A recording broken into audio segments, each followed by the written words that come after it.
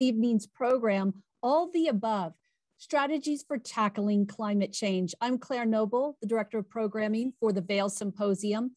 On behalf of Chris Sable, our Executive Director, Dale Mosier, our Board Chairman, and the entire Vail Symposium Board, welcome. We're celebrating 50 years of convening locally and thinking globally. A few items to be aware of before we get started. For the first few segments, we're going to use the Q&A option at the bottom of your screen to submit questions for tonight's speakers. And you can type those in there at any time. We'll try to get to as many as time permits. Tonight's program will run until 7.45. It's being recorded, and you'll be able to find that recording at vailsymposium.org. I'd like to take just a moment to thank some of the organizations and individuals who've helped make tonight's program possible. Our sponsors include the Town of Vail, Vail Resorts Epic Promise, the Antlers at Vail, and the Vail Daily. Our virtual programs are sponsored by Alpine Bank. Cindy Ingles and Leela and Walt Misher have underwritten the summer season. Underwriters for the Environmental Awareness Series are Holly and Buck Elliott.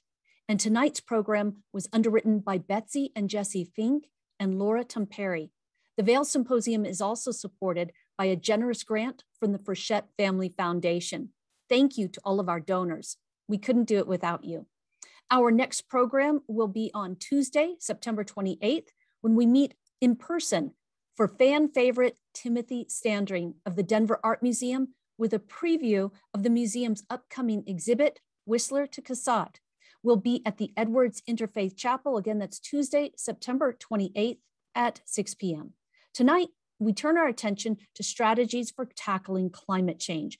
And some of our allies in this fight are furry, others are policies, but the first one we're going to discuss is usually green and slippery. We begin with seaweed. Dr. Nicole Price is a senior research scientist at the Bigelow Laboratory for Ocean Sciences. She is a benthic marine ecologist with an interest in how global change phenomena, like ocean acidification and warming, can alter bottom dwelling species interactions, community dynamics, and ecosystem function in shallow coastal regimes. Her work focuses primarily on the ecophysiology of seaweeds and calcifying invertebrates and their current and future role in dissolved inorganic carbon and nutrient cycling. She holds a BA in biology and math from Connecticut College and an MS in applied statistics and probability from the University of California at Santa Barbara and a PhD in ecology, evolution, and marine biology also from the University of California at Santa Barbara. Welcome, Dr. Price. Thank you, Claire. Um, I'll go ahead and share my screen now.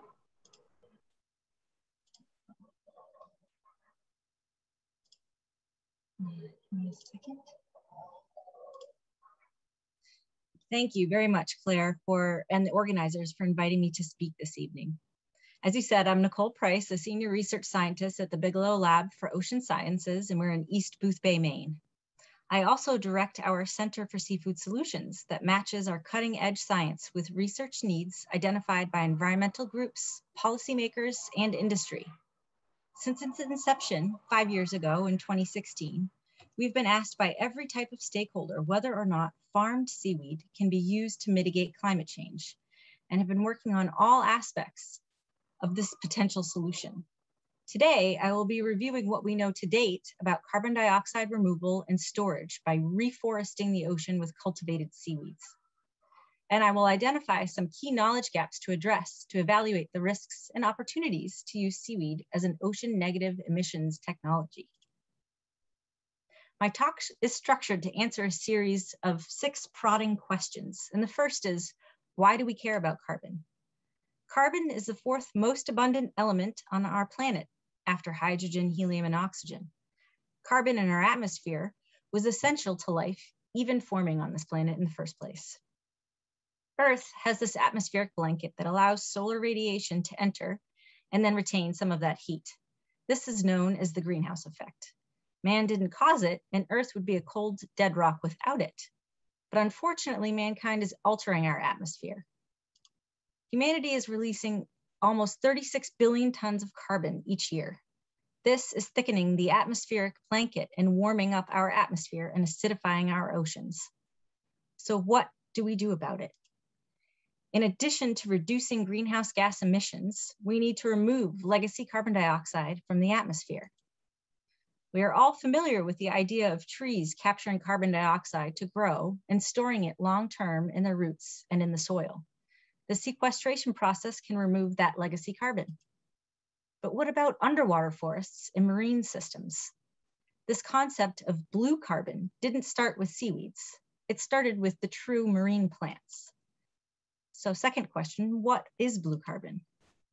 The idea of blue carbon or carbon becoming buried in marine sediments at sufficient time scales to be considered truly sequestered is far more established for true marine plants like mangroves and seagrasses and salt marshes. These coastal wetland plants have roots and rhizomes that bury carbon in the marine sediment below them, where it can stay for centuries or even millennia. The past decade has seen a flurry of research tailored to figure out exactly how much blue carbon is stored and how fast. So what have we learned about what blue carbon can do? The largest store of that carbon is in the first meter of marine sediments. And marshes and mangroves store more carbon than tropical forests.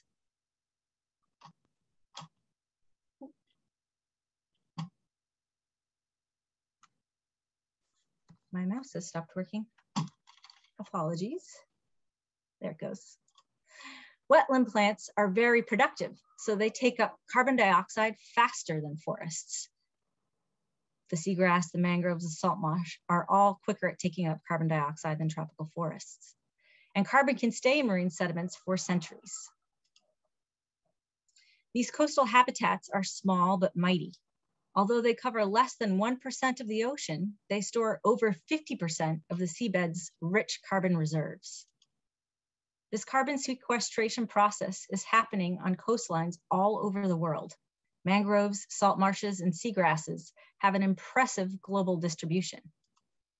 But kelp, a very particular kind of subtidal brown forest growing seaweed, also has a broad distribution and these marine photosynthesizers grow far faster than seagrasses, marshes, or mangroves. They can get to full size within a matter of months. Given their relative abundance and growth rate, why have seaweeds long been left out of the blue carbon discussion? Next question, can seaweed sequester carbon? Part of the reason that seaweeds are often overlooked is because their natural life history seemingly suggests they don't contribute to carbon storage in marine sediments. They, generally speaking, have short lifespans, just a year or two. And while seaweeds conduct photosynthesis in their fronds and blades that are like their leaves, their stipes and holdfasts, or their stems and root-like structures, are used only to attach the alga to rocky surfaces on the sea floor. They do not directly transfer carbon into marine sediments during growth. Whether the fronds are eventually consumed by fish or other herbivores or by microbial films as they senesce and die off, it has been generally assumed that the fixed carbon is released back to the atmosphere on rather short timescales, like weeks to years. But a missing piece of the puzzle is an understanding of the fate of broken off pieces of the seaweed called detritus.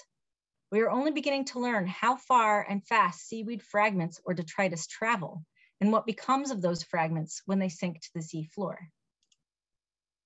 It turns out that using novel DNA fingerprinting strategies and tried and true stable isotope approaches, we can find evidence of seaweed pieces getting delivered offshore up to 5,000 kilometers and down 200 meters deep. Scientists estimate that anywhere from 3 to 26% of the carbon initially captured by seaweeds eventually breaks off and becomes sequestered in the marine sediments. At a global scale, this represents roughly 173 teragrams of carbon sequestered per year, which is similar to the sequestration rate of forests in North America. As of now, these sequestration rates are rarely included in any ge geopolitical carbon budget, other than in China and Korea. The role of seaweeds in blue carbon strategies remains controversial, despite seaweed habitats being the most extended, productive, and diverse on the planet. The criteria for inclusion in the discussion hinges upon how extensive and actionable ocean afforestation or seaweed farming will be, and development of verified standards that carbon removal is real, measurable, permanent, unique, and additional. Seaweed farming represents a clear pathway to additionality and uniqueness. So why and how does one farm seaweed? In practice, individual seaweed farms come in all shapes and sizes. The most common is longline farming in shallow coastal zones using an anchoring and float system. Although the practice is centuries old, it's very nascent in the US, and the first commercial kelp farm was established in Casco Bay near Portland, Maine in 2009. Seaweed farming is appealing because it can be done with very low tech approaches and thus requires relatively little capital or operating expenses to get started as compared to other aquaculture ventures. Further, the first crop is harvestable after just six months. As of now, only 10 species are intensively cultivated worldwide, but there are hundreds of species wild harvested for various products. Seaweed farming yields a nutritional, sustainable product in an increasingly food insecure world. It is also perhaps the only carbon capture option that can generate revenue for small businesses in rural working waterfront communities interest in seaweed farming has been growing rapidly, and the annual landings are on an exponential growth curve, growth curve worldwide. Regardless whether historical estimates or recent estimates of sector growth on the past few years are used, global seaweed production is set to surpass potato production in the coming decades. With this much seaweed produced, an estimate and an estimated 11% sequestration due to burial of naturally sloughed detritus or seaweed fragments. Roughly 4.5 teragrams of carbon per year could be sequestered on top of the natural processes from wild seaweed beds. And this is the additionality that we're looking for. So how do we quantify carbon sequestration from seaweed farms? I, together with colleagues from Maine, am part of a worldwide research program called the Oceans 2050 Project. This is a global effort to determine carbon storage rates beneath seaweed farms. There are 22 participating seaweed farms stretched across 12 countries. These farms range in size and in age and differ by which seaweeds they grow and harvest. This 15 month study will quantify carbon sequestration by seaweed and sediment across the participating farms on five continents, creating new market incentives for seaweed aquaculture. The Oceans 2050 study, led by Carlos Duarte, aims to address one of the first knowledge gaps I list here. What are seaweed species specific carbon depos deposition rates directly under a farm? But there, are, there remain major knowledge gaps to determining the contribution, risks, and opportunities that seaweed farming represents as a legacy atmospheric removal technology, and they include can we accurately predict and verify where the detritus or seaweed fragments go and how long that carbon stays buried? Should we sink entire seaweed farms to maximize this carbon sequestration benefit? Or are there other uses for farm seaweeds that help us avoid carbon emissions elsewhere in food supply chains, for instance? Are ecological and social carrying capacities sufficient for farmed seaweed? Can seaweeds adapt to warming through husbandry practices that are common for land-based agriculture, but only very recently introduced to seaweed aquaculture? What is the cradle to grave carbon footprint of seaweed production? I hope you leave this talk excited about the potential for farm seaweed to offer a multi-pronged solution to many problems. But there's much work to be done to safely harness this power and understand its full true impact. The ocean is vital to the health of our planet and the success of our society. Our oxygen and food, technologies and medicines, careers and economy, the ocean shapes all life, and science can unlock its full potential. At Bigelow Lab for Ocean Sciences in East Boothbay, we advance bold science for our blue planet. Thank you. Thank you so much, Dr. Price. And I just want to remind our audience that you can use the Q&A option at the bottom of your screen to submit questions this evening for Dr. Price. And I'll just get started. And um, my coloring is a little odd and I'm not right, quite sure why that is, but uh, hopefully you can hear me and see me just fine.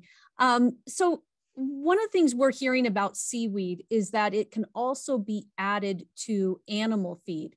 And that animal feed then causes a reduction in livestock production of methane gases. So, is it possible that the seaweed that's grown for that itself absorbs carbon dioxide? And then when it's fed to the livestock, it prevents them from producing as much methane gas as they would typically produce. Yeah, there's definitely some exciting research about certain red species of seaweed coming out of the tropics that can reduce enteric methane emissions or the methane burps really from cows as they ferment their uh, feed in the rumen. And this tropical red seaweed can reduce those burps by up to 80% in some live animal studies. So it's pretty exciting. That particular species of seaweed is going to be difficult to scale up to meet global demand. So there's a group of us on the East Coast working hard at looking at some of the seaweed species that are already cultivated at scale that could be entered into that supply chain.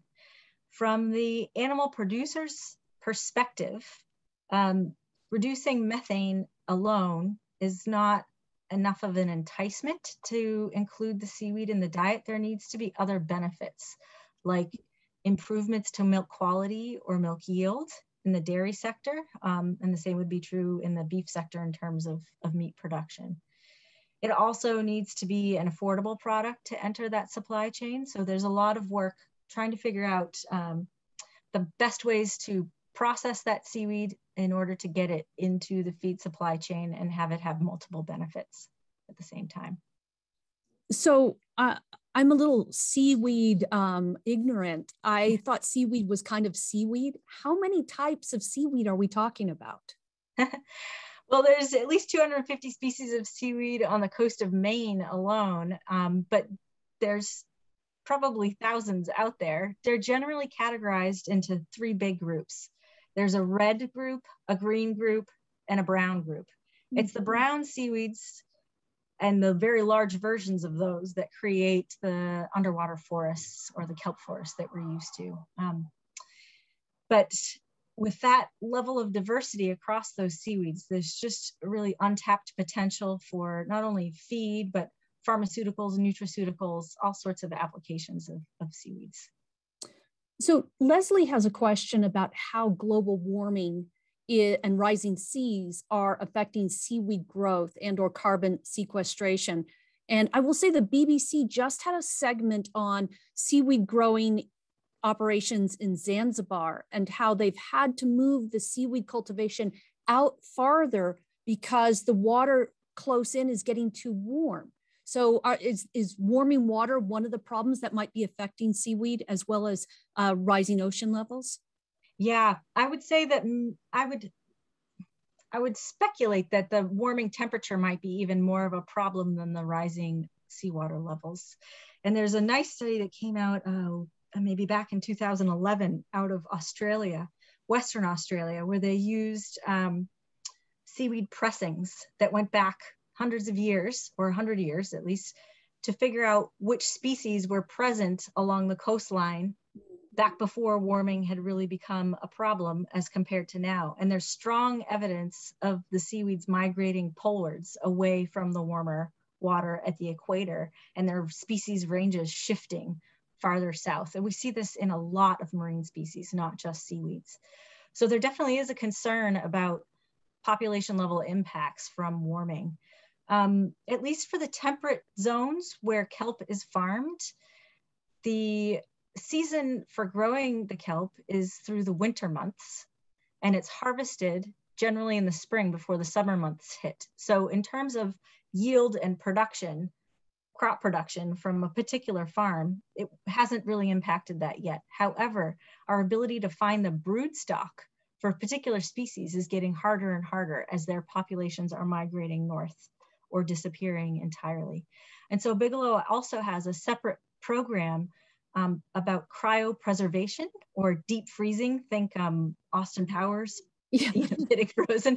We could do that with seaweed uh, spores and then be able to regenerate them and, and also, you know, maintain a repository for diversity as we move forward into an uncertain future.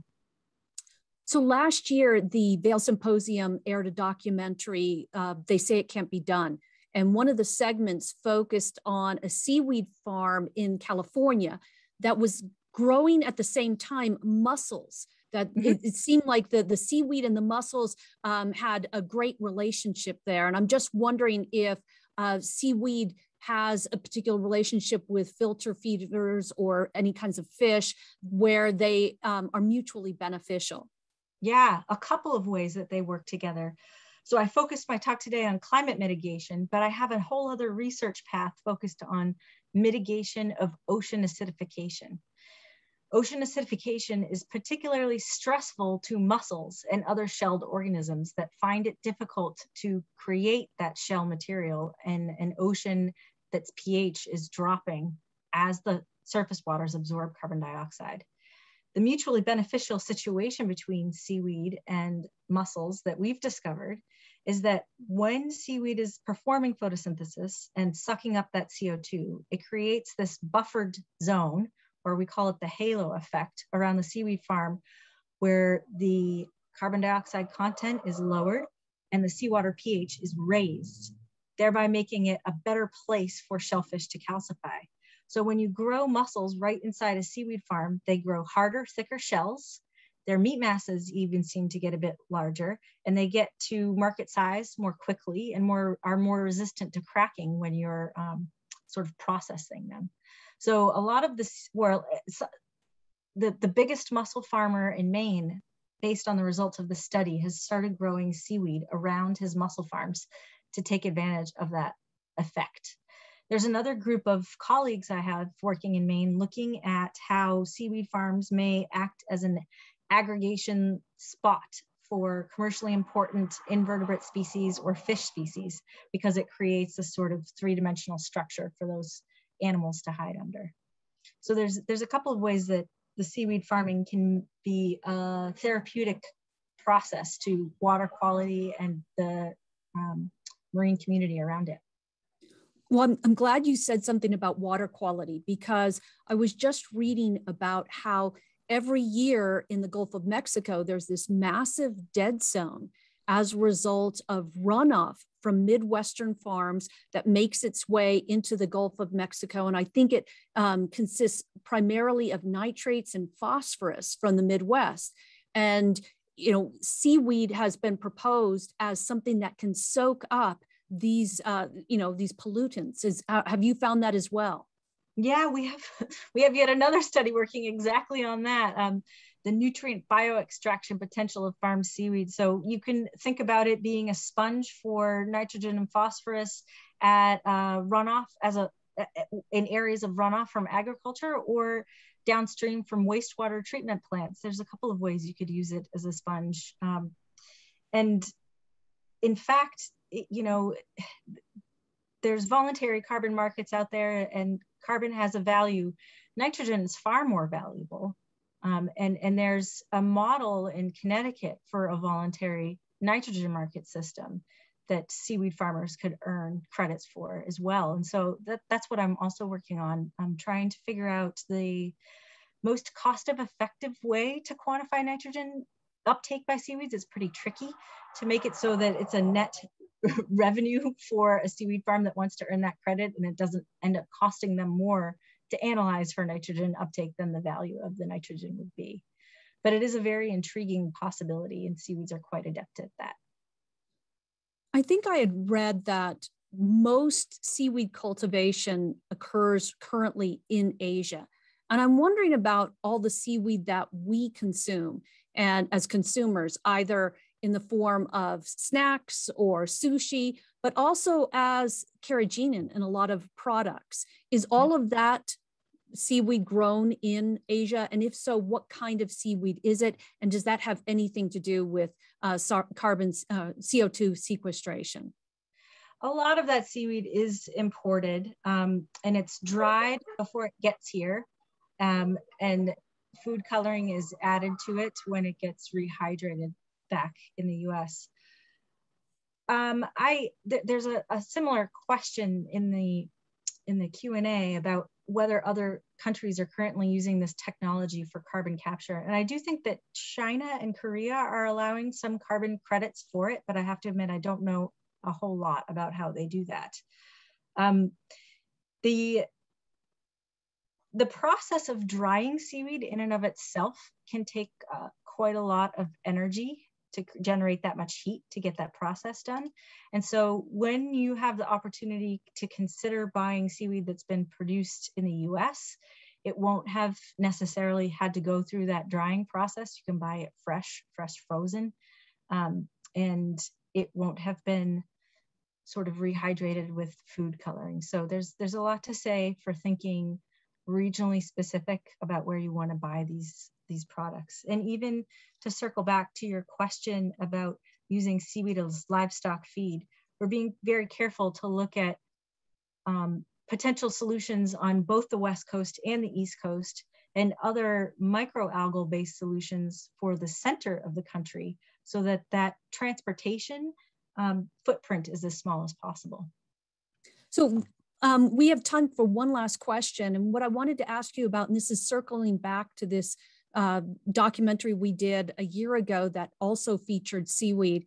And one of the issues in this documentary was an issue of regulation. And, you know, for instance, one state like Maine might make it quite easy for aquaculture, whereas another state like California might make it very difficult.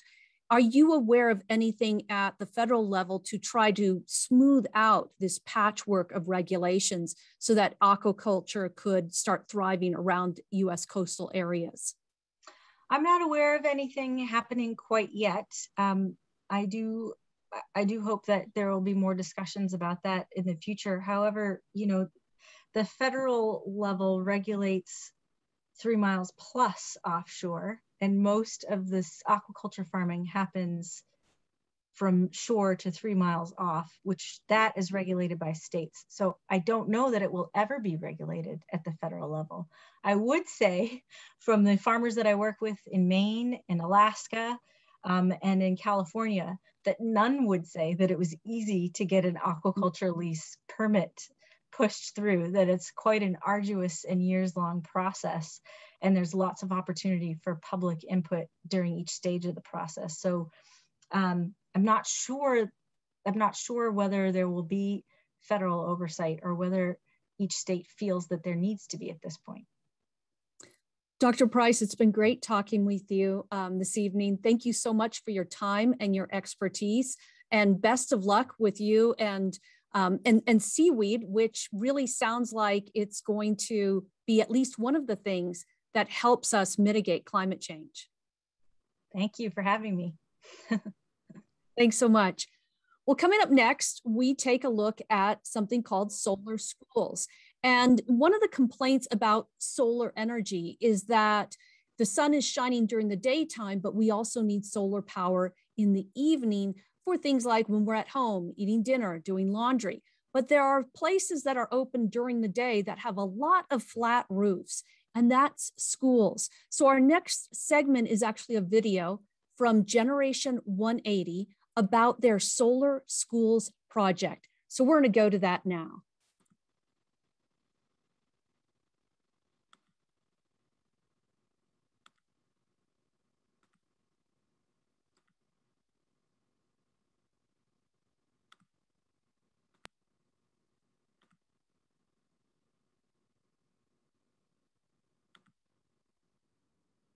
Solar gave us a chance to generate funds, to generate money.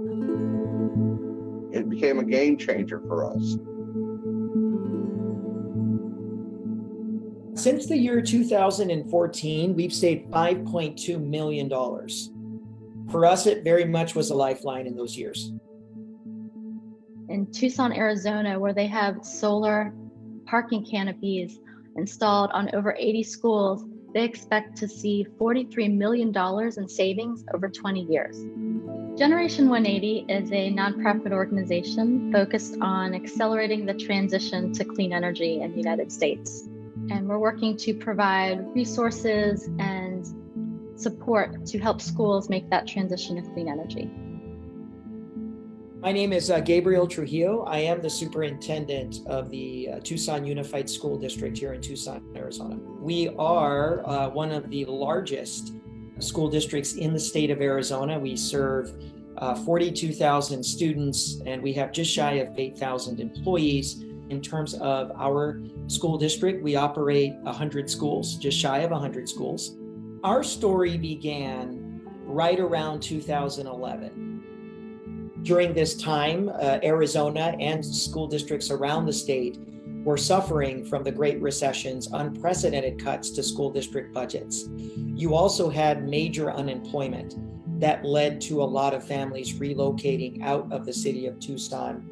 So the district it was very much in dire financial straits in and around the year 2011. The price of power started to skyrocket as the effects of global warming have hit the desert southwest here in the US harder than anybody else. So you have these forces kind of combining to challenge the district to say, how can we do things differently?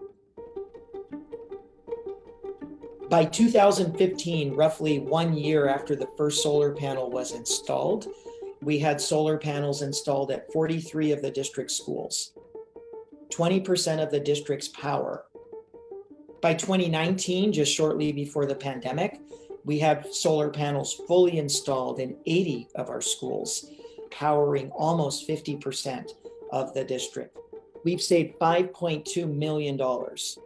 You take away that 5.2 million, I'm not able to keep my employees with their yearly raises.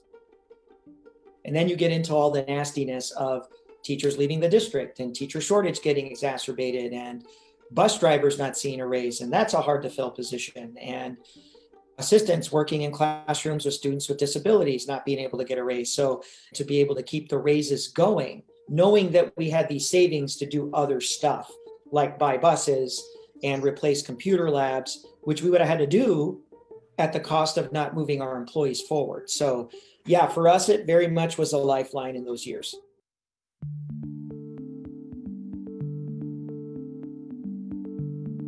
Going solar can be expensive for school districts. Sometimes a solar installation can cost up to a million dollars or more, depending on the size.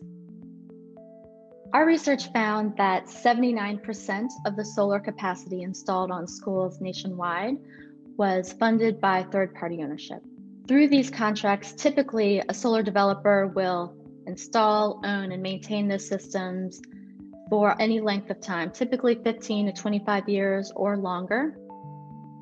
So the benefit to the school is that any school can go solar. It doesn't matter what their budget is.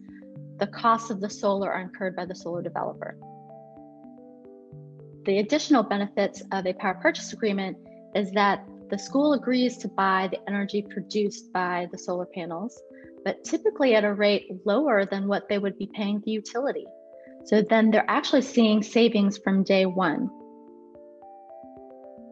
we came into a relationship with Midstate Energy around 2013. And the deal is until 2034. So in the year 2034, the solar panels will become ours. Essentially, we're going to become a power producer. We're going to own the very source of the electricity that we are generating there's opportunities for us to generate revenue from this power and possibly be able to sell it back to the grid.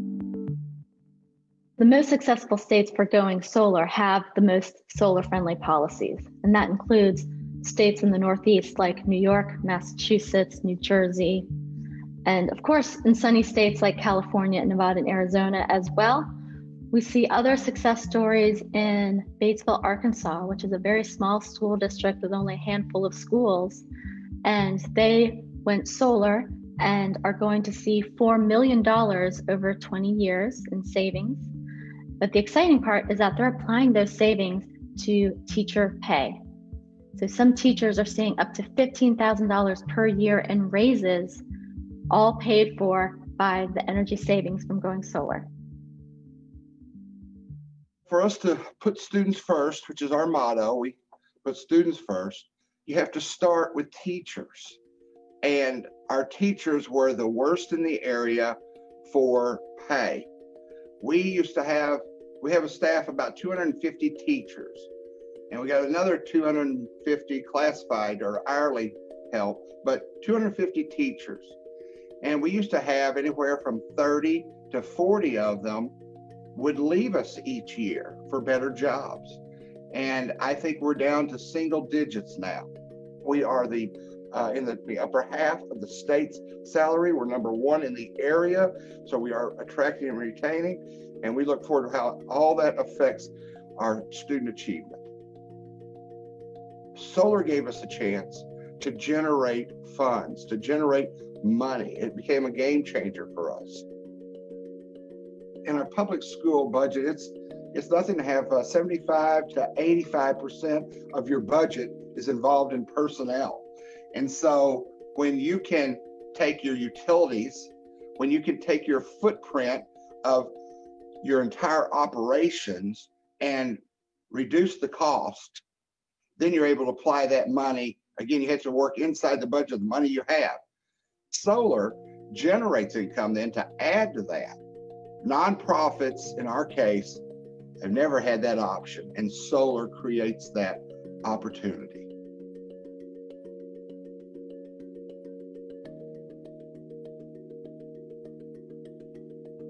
Through our report that we published last fall, we tracked the number of schools that went solar in the United States up through the end of 2019. And we found 7,332 schools with solar. That's only 5.5% of schools around the country. We would love to see that number go up to 100%. We found that if all schools were 100% solar, we could reduce carbon emissions equal to closing 18 coal fired power plants. That's a common myth I hear that the amount of sunshine determines how viable solar is in your community.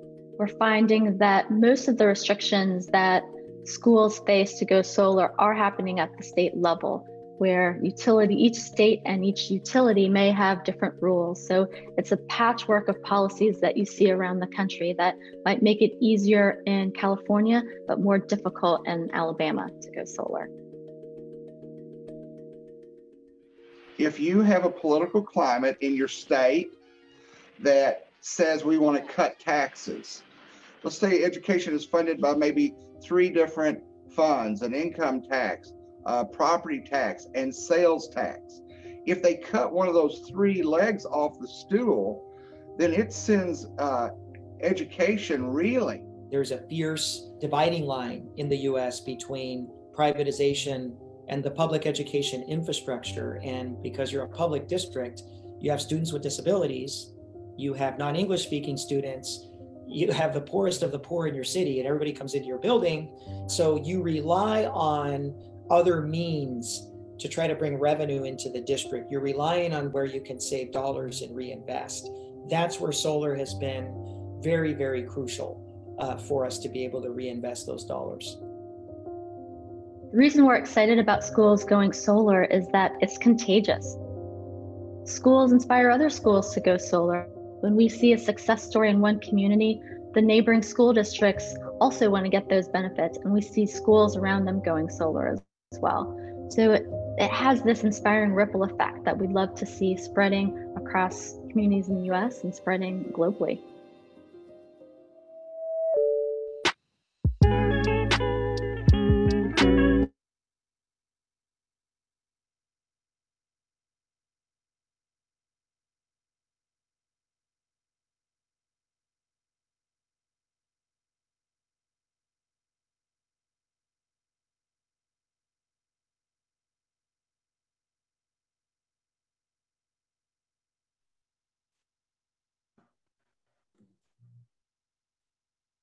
Welcome back. I hope you all have enjoyed that segment on solar schools. I think that's it's really exciting and I hope it's something that we can try to do here in Eagle County. Well, coming up next, we are going to look at another ally in our efforts to mitigate climate change, a furry ally.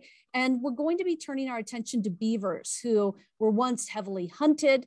Um, then to add insult to injury, they were treated as unwelcome guests in their own habitat, but perhaps they're an un overlooked factor in managing the West's most precious resource, water, as well as making Western forests more fire resistant. And joining us, we have Peter Sunnison and Dr. Sarah Marshall.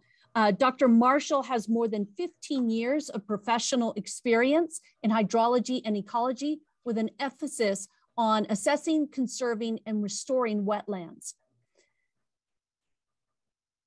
stream, oh, I'm sorry, wetlands and streams in Oregon and Colorado. Her doctoral work in water resources engineering focused on understanding the effects of land use on wetland hydrology, ecology, and water quality across different spatial scales.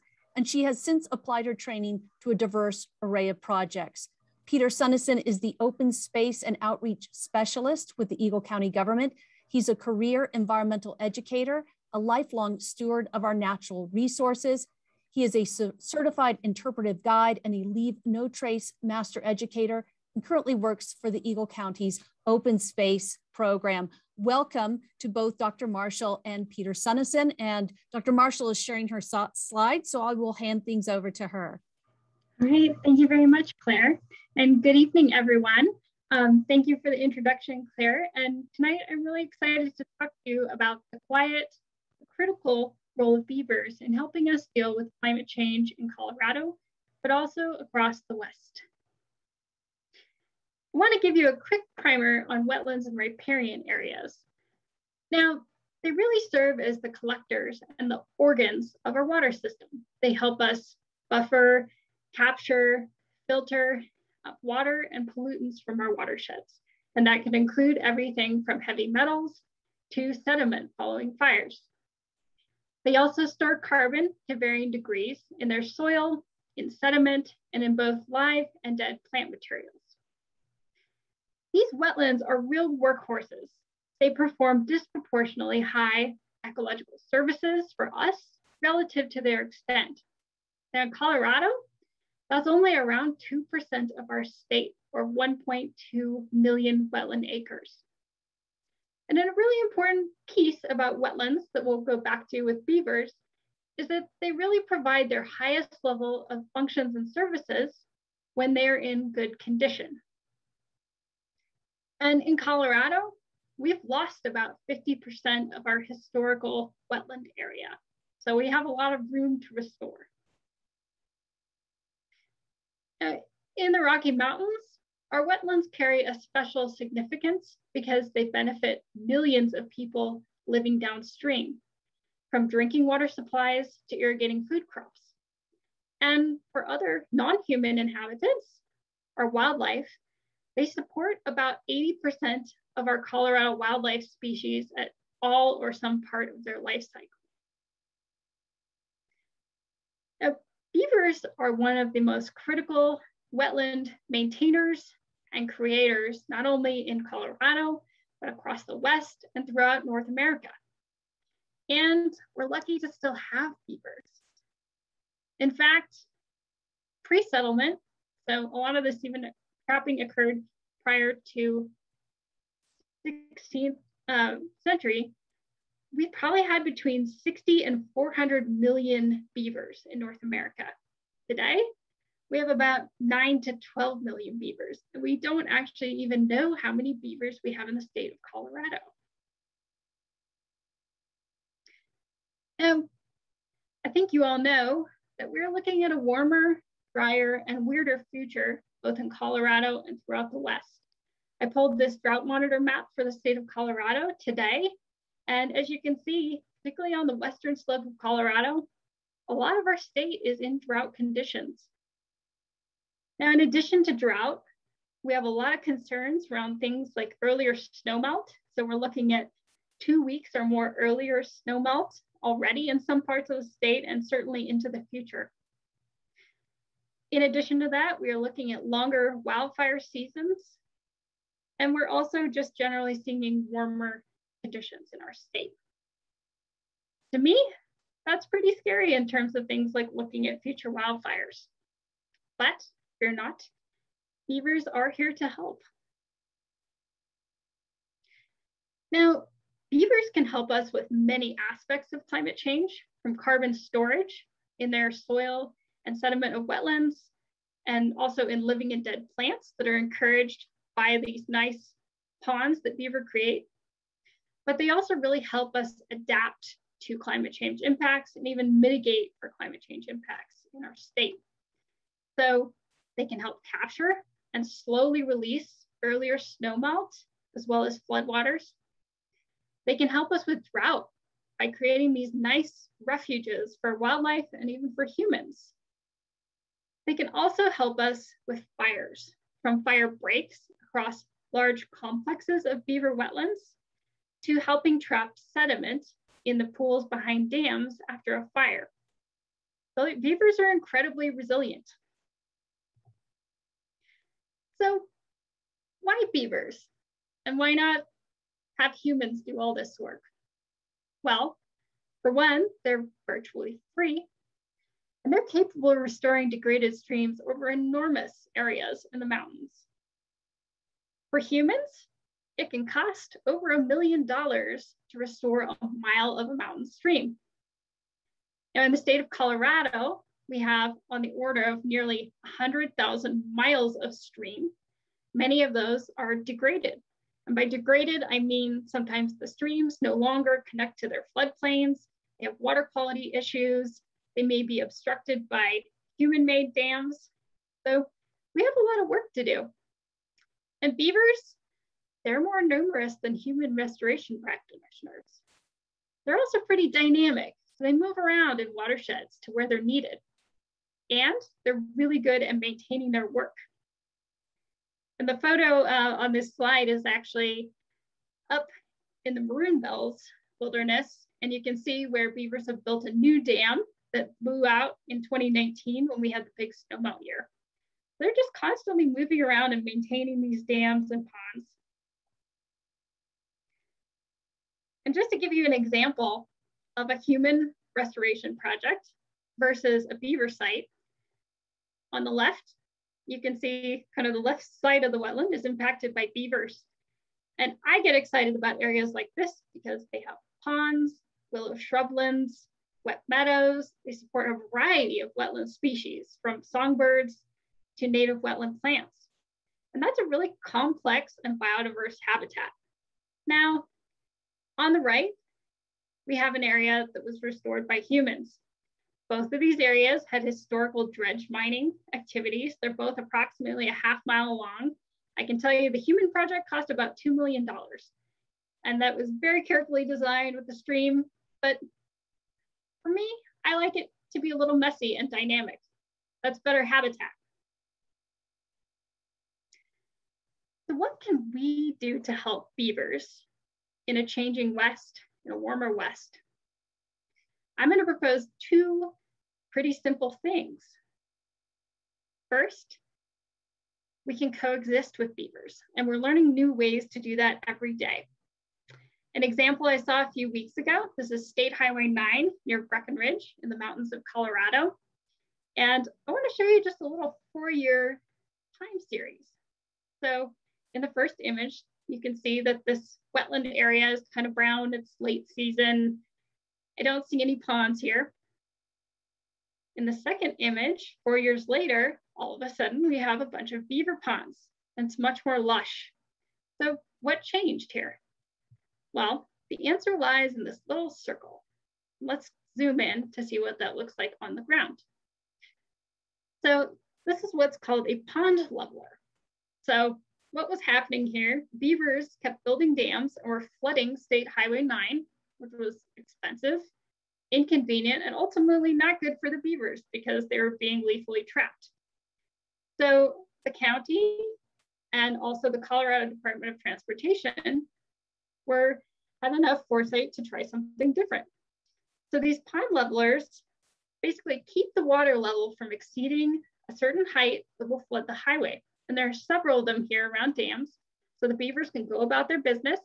They can create dams, they can even make new channels, trim willows, all the while they're not flooding the highway.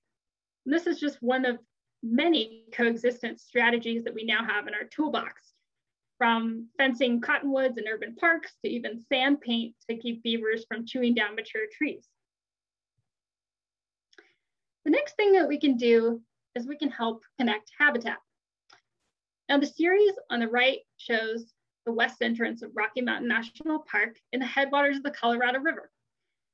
And over time, you can see a loss of beaver ponds, a loss of connectivity between the stream and the meadow, and ultimately, we're left with a dry meadow or an elk meadow.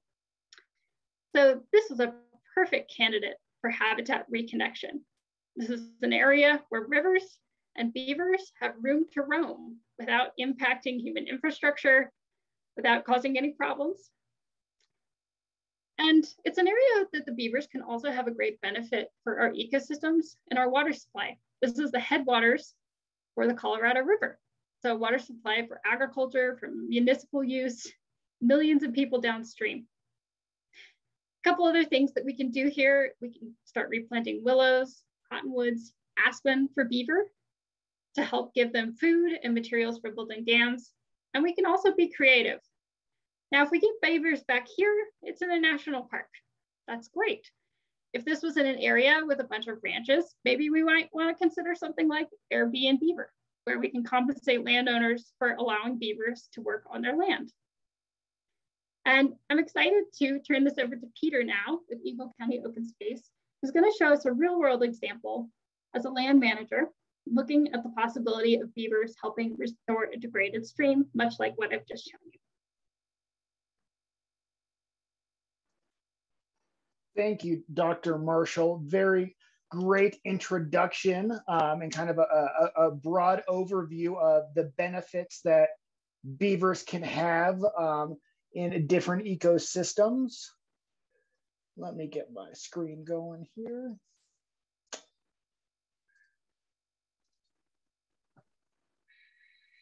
Excuse me, let's see here. All righty, so um, again, my name is Peter Sunnison. I'm with the Eagle County Open Space Program. And what I wanted to do, to do today is kind of take Dr. Marshall's broad overview and kind of present a beginning of a, a case study that we're able to work on here on Eagle County Open Space. Um, and so just as a, a, reminder or some information for folks who are not as familiar with the open space department or program here in Eagle County, um, it was uh, established almost 20 years ago. Um, we are funded by a mill levy on property taxes. And I think what is really exciting, um, looking at my last bullet point up there, that in 2018, 81% of Eagle County voters voted to reauthorize the program for another 20 years so it does not sunset until 2040. And then conversations with Dr. Marshall when I was sharing, um, you know, uh, a little bit about our program and then again our conservation criteria, she was, you know, really excited about the point that Eagle County and, and the citizens in Eagle County are really putting their money where their mouth is. They have voted to protect wildlife habitat by funding our program. And so just a, a basic overview of how uh, properties or lands get conserved through the open space program is that um, staff takes phone calls, goes out and seeks out properties.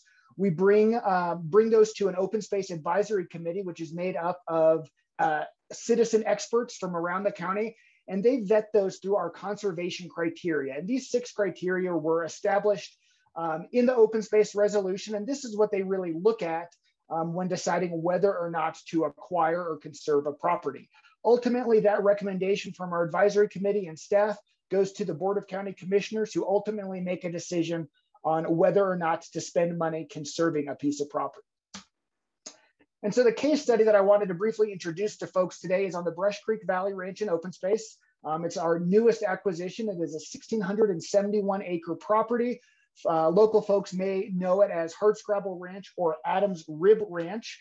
Um, it was a, a, many folks probably know the history, but this is a decades old um, conservation project that finally came to fruition in 2017 um, with the help of the Conservation Fund, the Town of Eagle, Eagle Ranch Wildlife Committee, CPW, the Eagle Valley Land Trust, and GOCO. Um, the entire property is conserved, uh, is held in conservation easement by the local Eagle Valley Land Trust. And if you look um, kind of at my map on the right there, you can see that we have about 2.5 miles of Brush Creek traveling through the property. Um, again, this is a ranch. This is a, you know a working ranch, and historically, and in the past decade or so, it was ranched. What we say, we say it was ranched to sell houses, and so it was sustainability and, and um, other kind of ranching practices were not at the forefront. This property um, is degraded um, quite a bit in some stretches. And so what does it mean when we, when we talk about managing it? This property hit all six of those conservation criteria. And so what we're trying to do out there is balance both the wildlife habitat, the access to dispersed recreation, um, the agricultural heritage and history. We have a working range there. We have a lessee who runs a cow-calf operation and cuts hay out there. We try to balance all of those conservation values. And the easiest way to you know, really balance all of those values that are, are so dear to our community is to take a really light touch. Um, and one of the easiest way to do that is with this low tech process based restoration or LTB, LTPBR. And what I'm really talking about there is, uh, uh, in this case, is biomimicry. What we're looking at is creating structures um, you know, manually creating structures that beavers may have done if they were in that area. So we were utilizing two techniques, BDAs and PALs, beaver dam analog structures and post-assisted log structures. And why I think this is such a neat um, process is that restoration is inherently a process process oriented practice where the outcome is uncertain. Really, restoration is a, a kickstart to those natural process you know, a lot of folks here re- restore restoration, and I blame the HGTV crowd for you know making it seem like that is taking it back to a, a condition of the past. That's not really what restoration seeks to do. Restoration seeks to kickstart natural form and function of an ecological system to get it in that historic trajectory, which in turn hopefully will catch up and repair some of those degraded systems. So what I've got here is just a, a, a, brief overview for folks that are familiar with Brush Creek Road. This is the northernmost section of Brush Creek Valley Ranch in open space. Um, in between the ranch headquarters building and the town of Eagle Water building, a little blue shed um, on the west side of Brush Creek. And as you can see here, um, it is relatively channelized. You can see some of the pictures, not a lot of riparian vegetation. This is not, this system is not maintaining the five C's of a healthy riparian ecosystem or a healthy stream, which is cold, clear, complex, connected, cold, clear, com complex, connected, and consistent. So we're not seeing those. And so what we're looking to do out there, oh, sorry, here are some pictures of that system. Here we have, you know, devoid of riparian vegetation on the left. Um, and then you can see some channelization and a, and a ditch irrigation structure on the right. So again, this is a working ranch. Um, some of these areas are where we're looking to employ some of those biomimicry and even, even some of those structures that Dr. Marshall um, discussed earlier. So on the left here is a BDA, a beaver, beaver dam analog structure. And essentially what this is, is a, is a human created beaver dam. We are undertaking the same process that they would, stopping the river, minimizing that, that energy coming into a stream, spreading out the water creating new wetlands, creating ponds. On the right, we've got a PALS or a post-assisted log structure. And again, what this intends to do is diffuse that energy of the stream, create new pools, new, new channels, really replicate beaver activity in the area. It is our hope that by putting these devices or, or these uh, installations in, we will then promote uh, a suitable habitat for beavers and get some natural um, recruitment into those areas. Here are some BDAs uh, and PALs in action. And then this larger picture on the left are some models of uh, the, the pond levelers or what we, we call beaver deceivers um, that, that were brought out to show us kind of how we might be able to utilize a system like this in our ranching infrastructure. Again, this is what we're looking for. I think this picture on the left was one of the most exciting days um, when I, I, since I've been with Open Space. What we're seeing here is an oxbow um, or a new channel being created. There is an upland dam, it is pushing water onto an irrigated field, and this is actually channeling backwards, creating an entirely new stream bed. And so finally, just to bring this all around to building a climate resiliency, that to follow up on Dr. Marshall's uh, presentation, promoting these, these beaver dam habitat and this beaver dam ecology, we're promoting biomass accumulation and biodiversity. We're storing water during our historic drought cycles. We're creating natural fire breaks and we're creating these wetlands that are able to sequester carbon um, at a much higher rate.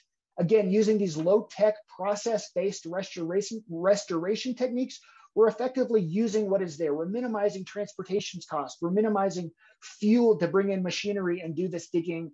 Um, we're doing this by hand and really we're, we're acting as beavers. Um, we're creating our air, our own Airbnb beaver. And with that, um, I think, Claire, if we've got time for questions, happy to take them. Peter, Dr. Marshall, thank you both very much. Unfortunately, we are out of time and I apologize. This is completely my fault for not budgeting more time for beavers.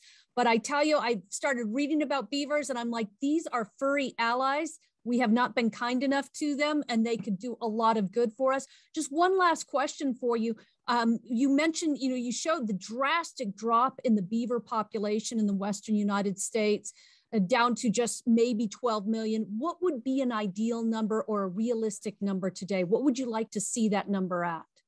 Oh goodness, I wish I could answer that. Um, I will say that in uh, working with Julie Scamardo and Ellen Wohl at CSU and modeling beaver dam capacity. So our current rate, and I wrote this down to make sure I didn't forget, it's uh, 1.36 million dams. Historically, we're at about 2.39. So I would love some approximation of enough beavers to make some semblance of our historical dam capacity. So double at least. Dr. Marshall, Peter Sunesson, thank you both so much for this fascinating discussion. One thing I did hear that just to put things into perspective, beavers have been building dams for thousands of years longer than humans have been building dams. And they uh, could be a really great resource if we would just be a little bit kinder to them. So thank you both very much. We now are going to turn our attention to carbon tax. And I will say that Americans have a reflexive dislike for the word tax. It seems to be in our DNA. But what if a tax could be used as a policy tool to change or modify polluting behavior? So we welcome now carbon tax expert Catrina Rorke, along with Commissioner Matt Scherr. Catrina Rorke is Vice President for Policy at the Climate Leadership Council. In this role, she develops the details of the Baker Shultz carbon dividends proposal in consultation with 48 founding members, including corporate leaders, environmental nonprofits, and influential individuals. She also manages the Council's research program and supports the Council's advocacy and outreach activities. Matt Scherr is currently an Eagle County Commissioner he was previously on Minturn, Colorado's town council, and some of that tenure was he served as mayor. His background includes an undergraduate degree in psychology, an early career in telecommunications, a transition to community leadership development, a pivot to community sustainability practices, and just general entrepreneurial subsistence living. His greatest priority as county commissioner is a people and planet centered economy, which he sees as our best chance to address the climate crisis. I will turn the program over now to Commissioner Matt Scherr and Catrina Rorke. Welcome to both of you.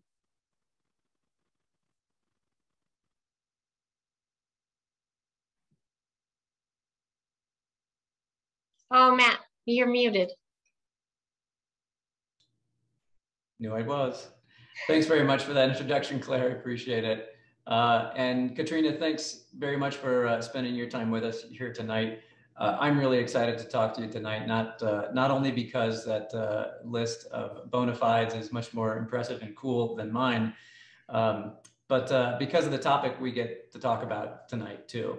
Um, I, I know you've, with that impressive CV as well, I don't know if you've ever had to follow beavers, but I think what's convenient about that is, is beavers and kind of all the other things that are in this program tonight, and honestly, all the other things that we often talk about with climate, beavers, seaweed, uh, solar on roofs, whether it's the recycling I do and changing out light bulbs in my home, uh, these are all tactics that are important to climate change. But what you're talking about tonight is really a systemic approach to solve our climate crisis. And that's solving not despite our market economy, but through that very free market, which has been called the most powerful force humans have ever created. So take that, beavers. Um, so what I'd love for you to do, Catrina, is start out tonight to help us understand uh, carbon tax in terms of a lot of these other things that we do. Uh, from a policy perspective, what our choices are for, for particular policy frameworks, and then how uh, carbon tax fits into that. Sure, Matt. So um, thank you for having me. It's really, it's a joy to be with you today. This is Climate Week. It's also National Clean Energy Week um, which means we've heard uh, a whole lot of folks from around the world and around DC talking a whole lot about um, climate success stories, policy movement. Um, so I'm really excited to share some of that good news with you today. Thank you for having me. Um, I hope that because I'm here, I can get in on Airbnb uh, and we can bring some of them out to Rock Creek Park in DC. Um, okay, let's start by, um, by breaking down the three um, sort of crude categories of policy that we can use to reduce emissions um, that we commonly talk about in policy circles. Um, so the first form is regulation. You can, through, uh, through like the Environmental Protection Agency, direct industry to adopt certain technologies or practices or stop using certain technologies or practices um, and use that mandate to reduce emissions from a, a specific sector, um, from a specific type of facility. Regulations tend to be really narrowly targeted when it comes to emissions reductions. You can subsidize. You can do things like incentivize research and development by pumping money into the university system um, through the national labs that the Department of Energy runs. You can also offer specific discrete payments. So um, the production tax credit, for example, to bring renewable power online in the United States. Subsidies are a really common way of uh, lowering the costs of things that um, produce fewer emissions. And then there's this third category, the one that I work in, where you price the bad. So instead of trying to figure out um, regulations for every discrete sector that you want to reduce emissions from, or writing the right kinds of incentive and payment programs um, for all of the sectors that you want to see emissions reductions from, um, what you can do is just put a price on carbon. It's a little bit like like you can set it and forget it because once it's in place, you don't need to renew the policy year over year for it to to change behavior, um, and it creates a sort of systemic um, tilt in the marketplace. Right now, it's free to release CO2 emissions into the atmosphere. As soon as you price it, people are going to start making decisions so they reduce fewer emissions, and they're going to do that everywhere emissions exist in the economy. Um, so yeah, it's, it's sort of like set it and forget it because once it's in place, um, you're going to see how it sort of evolves and, and affects the whole economy rather than um, policies where you might have to go back and edit them in because they're not having the impact that you quite want them to. Right. So this is a, um, a way then it sounds like um, there, there's a term that economists use called externalities and pollution is always the best example we use. At least that's what we use in the, the environmental world. The externality is a cost, but it's a cost that uh, a, a, business or a unit or whatever that consideration is manages to take off its books. That doesn't mean the cost goes away, it just means it goes away for that entity. And uh, it sounds like what you're talking about is this is a way to encapsulate all that externality within the market so it doesn't escape, which ultimately that, that form of trickle down always comes down to the people. That one we can guarantee always comes down to the people. That's where the cost is ultimately born, uh, like with landfills and we deal with trash and those types of things. But what you're talking about is finding a way to put that back into the realm of the market so it can address it at, through innovation or efficiencies or anything else the market does. Yeah, That's right, Matt. So um, there's two categories of externalities, right? Positive externalities and negative externalities. In climate change, the negative externality is easy to see. It's free to release emissions right now in the United States and most other jurisdictions around the world. The positive externality is a little bit harder to see. It's companies that are at the leading edge of changing their practices or communities that are at the leading edge of adopting really good behaviors, even if those aren't cost saving in the near term. And a carbon price prices that negative externality, brings that onto the balance sheet, and it um, pays people for the positive externalities that they're already creating today. Um, and so you'd mentioned these, these three different broad categories of how we might approach this from a policy perspective. Um, price, uh, essentially market signals, uh, is what we've got with the carbon tax. Um, right now, Congress is considering a really big budget bill, um, which it seems to always be doing these days, but a really big budget bill, and a lot of what's currently in there uh, are a lot of climate strategies. Um, can you use some of the things that are in that bill right now as examples of the other policy strategies that you'd mentioned? Um, sure. So, in the present legislation that's being debated, um, at least the version from the House of, of Representatives is a, a, new policy called the Clean Energy Payment Program. Um, it's it functions like um, like a renewable portfolio standard or a clean energy standard. Those standards have been adopted at the state level for quite some time in the United States. Brings that to the federal level. It would um, establish a baseline for companies. Um, so every utility has their emissions intensity baseline and ask them to improve upon that baseline 4% every year. If you do that, this policy will pay you.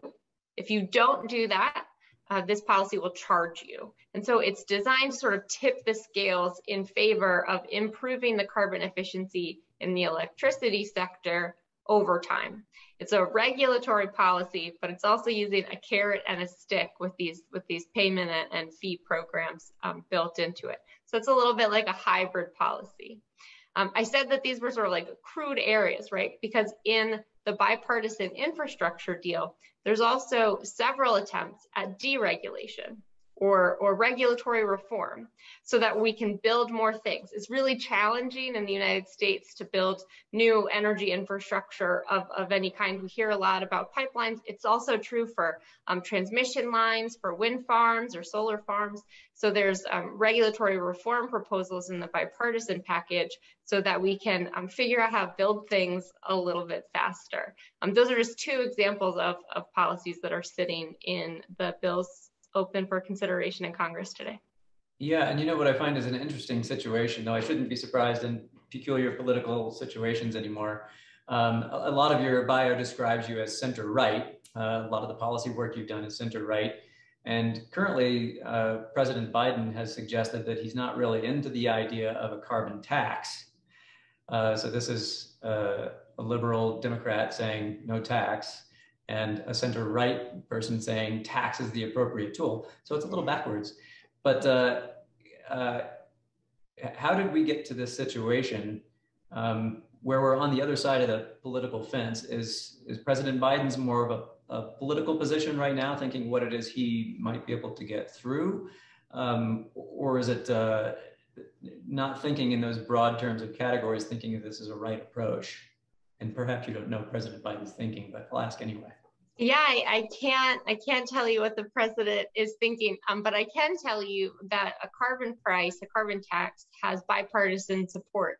Um, what we're hearing out of the Senate is a whole lot of emphasis from senators um, like Senator Sheldon Whitehouse and Senator Brian Schatz, Senator Chris Coons, um, folks who sort of span the gamut from quite left to moderate left, who are pushing heavily to involve a carbon price in their in their climate plans in these most recent legislative packages because they know it's really effective climate solution.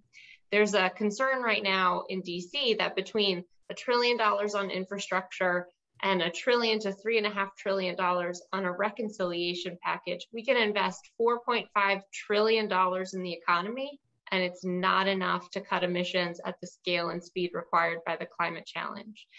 Once you spend four and a half trillion dollars, it's really hard to figure out how to spend more money. Seems like the appetite for using one of our three categories, that subsidies category is going to be dramatically eroded. And so we're seeing climate advocates really boost a carbon price because they know it's the most efficient mode for reducing emissions across the economy. So it may still have some some chance uh, politically, and we'll talk about some of that support as well because it's important. But before we get to that support, that support that you're talking about, a lot of that is for a very particular thing that uh, uh, that you are promoting as well. So you're with the Climate Leadership Council, and one of the most uh, primary things the Climate Leadership Council is promoting uh, is a carbon dividend plan. Uh, I'll let you decide how, how you want to name it tonight. But I wonder if you'd uh, walk through us. This is a specific idea for a carbon tax with some particular components, even outside of the carbon tax itself. And I wonder if you'd take a moment to, to describe that for us. Sure, thanks. So um, in early 2017, my organization was founded um, by uh, several uh, Republican luminaries, folks who have been shaping the, the economic policy of the Republican Party for quite some time, including former Republican secretaries of state, secretaries of everything, um, James Baker and the late George Shultz. And what they came out with was a four part plan to address carbon emissions in a way that benefited uh, households and the economy more broadly. So four parts, interdependent parts, we advocate for them as a package. A price on carbon emissions, which will let us uh, reduce emissions more effectively than any other policy that we know about. A dividend, so we take the revenue from that carbon price and we distribute it to households on a quarterly basis. In the first year, a family of four will get about $2,000, and the vast majority of Americans will come out more financially ahead with this policy than without it. Regulatory simplification. Um, there's a place for regulation, but sometimes it gets in the way. Uh, businesses have a hard time deciding what to invest in. Um, and the regulatory interventions that we've thought of so far, especially on CO2 emissions, haven't been effective. So let's pull those back and let the most efficient tool achieve emissions reductions. And then fourth and finally, a border carbon adjustment. That would help us make sure that we're pricing all of the emissions um, from goods overseas as they come into the economy. That means we have a new system of accountability for emitters in China and Russia and India that pollute a whole lot more than we do here. And it also ensures that we're putting domestic manufacturers who are cleaner um, ahead of the game by pricing emissions of imports. So it's a four part plan. We advocate for all of it together. Um, and we've been developing that policy for the last several years um, with our founding members, our, our bona fides, as you said. Um, I can I can share those now if that's if that's helpful. That'd be great. Okay, let me see if I can share screen. Claire may have. Oh, well. Claire, thank you. Yes. Um, so with uh, these founding members, we've been developing the policy. Um, we have corporate founding members, they run the gamut. So we have insurers, technology firms, um, consumer facing groups, people who make everything from an automobile to a bag of chips. Um, they help us figure out how to make this policy workable. We also have a whole lot of energy founding members that also run the gamut some of the biggest energy producers in the United States and around the world. Um, folks who get oil and gas out of the ground, folks who make the cleanest solar panels in the world, um, they help us figure out how to make this policy work well for the energy industry. We work with three environmental nonprofits. They keep us honest to the environmental ambition of the plan. This is first and foremost a climate policy. And then um, a bipartisan bench of individuals who are helping us shape this policy because they have particular expertise or they're really interested in this kind of solution. So um, everybody, as I said, from, from the late George Shultz and James Baker to Janet Yellen, not currently active. She's a little bit busy as the Secretary of the Treasury, um, but we really are bipartisan. We're anchored in finding a solution that works on both sides of the aisle. Yeah, and that's uh, uh, impressive as well. And it does a number of things. I wanted to talk about some of those pillars you've got, uh, particularly how they address a lot of the objections that we typically hear about when it comes to really just about any climate policy as well. Um, we'll start with that last one that you've mentioned as well, and that's the, the border adjustment. Uh, the argument that we've typically heard is, you know, China is now, uh, I think they've uh, superseded us as the largest economy, and they're certainly uh, growing a lot faster than we are, and they're still building coal plants. Um, and the argument is, why would we go through all this and cost our economy and cost jobs, which is another debatable point, when uh, China is doing it and it's a global problem? And so this is an answer to that. And I wonder if you can talk more about that is not just how that uh, works there, but how that can also benefit our nation. And that if we're leading in these things, then that can become a market for our solutions. Yeah, terrific. So um, uh, the border carbon adjustment is, is a really incredible tool. We can unlock that tool by, by pricing carbon emissions. That's why it's one of our four interdependent pillars here. Um, one of the things that's held back climate progress is this rhetorical argument that climate policy is going to hamper economic growth or cost jobs because we'll have costs in our economy that our competitors won't have. This is also true in the European Union. They are going through an evolution in their climate policy right now because they're being held back by policies they've built in um, to address these concerns about international competitiveness. We're not alone um, in, in failing to address the climate problem at the scale and speed required because of the concern about competitiveness. So let's directly solve it. Every good that's sold in the United States should have the same carbon costs associated with it. There is no competitive advantage to making a widget overseas instead of here at home. We don't have to uh, uh, take for granted that there's a competitiveness concern. We can, we can put everybody on a par.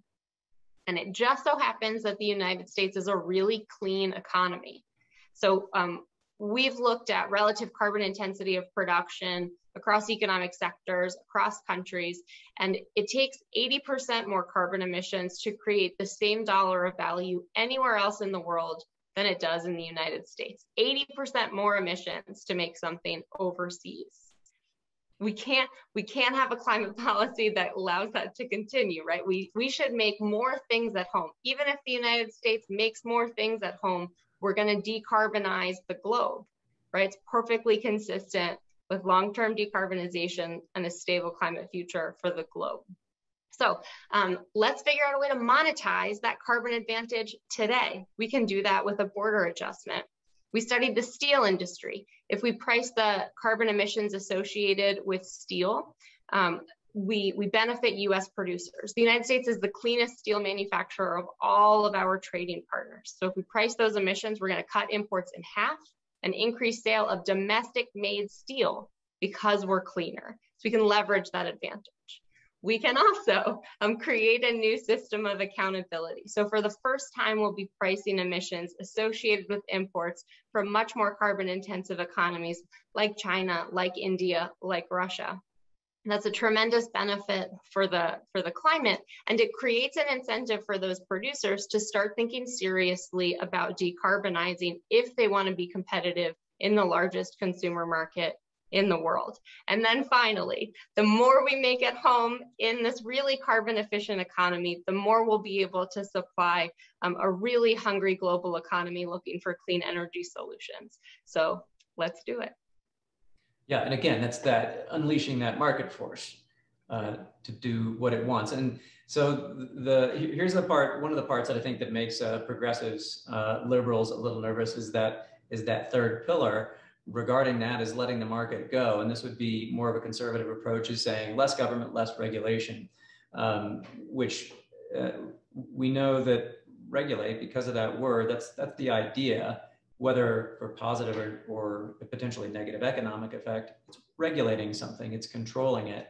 Um, so if we, if we release some of these things so that the market efficiencies can take effect, um, the, the, the thing that makes progressive nervous but you also have something built into there that understanding that this is a thing over time we have to watch and nobody's exactly certain how it will go but can you talk about the mechanism you have built in as well just as a, a bit of a safeguard absolutely so um, the price that we talk about in the carbon dividends plan um, it starts at $40 a ton it rises 5% year over year if we enact that price starting in 2023.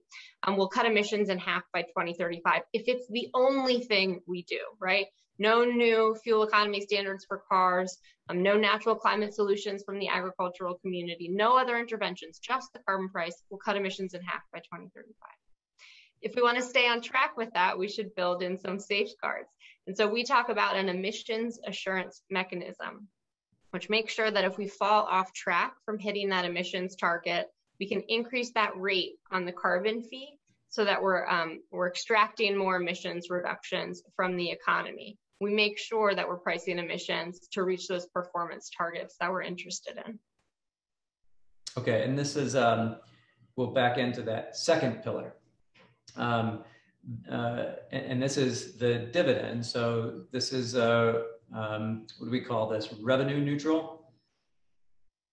So budget, money, budget neutral, but yeah, yeah, neutral. revenue neutral is fun. So uh, this is where um, uh, conservatives get nervous with the tax too, is they tend to think of it as this way for the government to raise money to do what it does. And very often we think of the government not doing great at what it does. But what you're doing with the money in this revenue sense is sending it back to uh, taxpayers. Um, and everybody gets the same amount of money. Um, but as you talked about, um, most people will have a net benefit. Gas prices will rise, the things that take carbon will rise as cost, but you're also getting more income. Keeping in mind that uh, the people who create the greatest uh, uh, carbon impact that is, if you buy a yacht and then you buy another yacht to hold the helicopter for your yacht, then you're going to be paying a whole lot of money, but you're still only getting, you know, the two thousand dollars or whatever that amount of money is. Um, so uh, the importance of this is in this plan, if I understand it, is that essentially revenue neutrality. Mm-hmm. Um, and then the concern that some may have is, will that truly work in the sense of regressive tax if the cost of just about everything will go up because so much of our economy is based on carbon. Will that truly work for uh, the people that we typically see as, as uh, often some of the most, the largest victims in an economy, what we call environmental justice, who suffer the most from that? It's an excellent question, Matt. So um, much like the border adjustment, there are several motivations for the dividend. Um, the first is if we impose a price on carbon and let the government figure out how to spend the money, um, they're going to come up with a really wise plan to spend 150% of the revenue, no problem. And so um, rather than uh, uh, have a fight over the right way to invest revenue in decarbonization or any other kinds of priorities, let's mobilize American families. At the end of the day, carbon fees are going to be passed through in prices to varying degrees across the economy, but American households are going to end up paying at least a portion of the carbon fee. And if we provide households with a dividend, with a share of that revenue, they're going to be in a better position to make smart decisions for their family as they figure out how to reduce their carbon emissions and reduce their fee burden over time. We want to give them the money that they need to make wise decisions for their family. We can also create um, 330 million stakeholders in, in a climate program. If, if every American gets a dividend, then every American is financially invested in the most effective climate solution that we have at our disposal, which gives it political staying power. We want to avoid um, the ability to create a climate policy that can be rolled back with a change in the political makeup of the Senate or the White House, right? And most importantly, um, if we use something like a dividend to send revenue back to American households, it's the most vulnerable Americans that come out most ahead. So the very low income Americans will spend a greater percentage of their income on energy and energy services, gas for their car, heating for their homes, um, but a smaller overall level than very rich people who spend a small percentage of their income on energy and energy services, but a large overall value. So um, Jeff Bezos and his rocket ship are not going to come out ahead with a carbon dividends plan, um, but the lowest income Americans absolutely will. Um, based on our modeling, the average household in the lowest eight income deciles will be better off financially with the carbon dividends plan than they are today. All right, and I want to leave uh, some time for questions, but so just one more area I want you to, to discuss. Um, the uh, uh I have heard from economists that uh, promote a carbon tax as a solution that say Had we done this 30 years ago, the market would have already solved this problem or already put us on the pathway to, to solving because we know that there's a time limit. Our window is closing, making uh, the, the, uh, the ability to create solutions narrower and narrower. Um, so what I want to talk about too is given that that our timeline is is uh, decreasing, talk about urgency. Yeah, uh, a, a, motivating question for sure. So uh, it took us 30 years to displace the horse as the primary mode of transportation once the automobile was available. And the automobile was absolutely better. Uh, it, it, allowed you a lot more flexibility. You could be inside. I mean, it was it was a better solution, and it took us 30 years to change the model. We don't have that kind of time when it comes to climate change. We're talking about deep decarbonization by mid-century. And so we need to make sure that we're using policies that are really good at deploying the solutions that we already have available today things that we know how to do well, like wind, like solar, like geothermal and hydro and nuclear, but also that provide that long-term incentive to innovate and bring to market the best solutions for the future. Um, so we want to make sure that the policy is durable and effective. A carbon price does all of that, but it's not a silver bullet. So uh, absolutely, it's the most effective tool that we have available. Absolutely, it needs to be part of the climate solution in the United States, but we're gonna need other policies to help us get over the finish line. Well, terrific. Uh, Catrina, I really appreciate this time. And, and we do want to leave time for questions. Uh, Claire, are you able to moderate those questions? I am. Thank you both very much. And just a reminder for the audience to please put your questions in the Q&A option at the bottom. And so what I'd like Catrina to address, if you can, is what other countries have instituted a carbon tax or are thinking of one? It's a great question. So um, we actually have carbon prices in the United States, um, not carbon taxes, but cap and trade programs. We have those in the Northeast. California has one operational. Um, and it's coming in in Washington and I think Oregon now. Our neighbors to the north have a carbon price. Um, so Canada has a provincial program with a federal backstop. If the carbon price in a province isn't high enough, then the federal price comes into play. Our neighbors to the south have a carbon price. It's low, around $5 a ton but they have one. Those are our two biggest trading partners. The European Union has been operating an emissions trading system um, for more than 15 years now to reduce their emissions. Um, there are carbon prices all around the world right now, not sufficient to put us on track for our greenhouse gas emissions reductions and our, our long-term temperature targets. Um, but most of the most developed economies have some form of a carbon price in place today. So I'm glad you brought up the European Union because uh, the Financial Times is reporting that there's widespread backlash to the European Commission's proposal to extend a carbon tax to cars and heating for buildings, which would include homes. Um, as they said, carbon pricing versus voters' wallets is the next political battle of our time. And so I read that, and I know you were going to talk about carbon dividends at this time. So I'm just wondering why the European Union isn't considering, or are they, a carbon dividend? Yeah, it's a it's a great question, Claire. It's it's clear from our analysis, from our polling, from the research that we've done that it's really important to bring households along with you. They are going to end up seeing the price impacts of whatever we do to address carbon emissions in the United States, be it a fee, be it subsidies for other kinds of fuels, be it regulation. It's really important to give households what they need to, to survive, to thrive in a scenario where we're reducing our carbon emissions.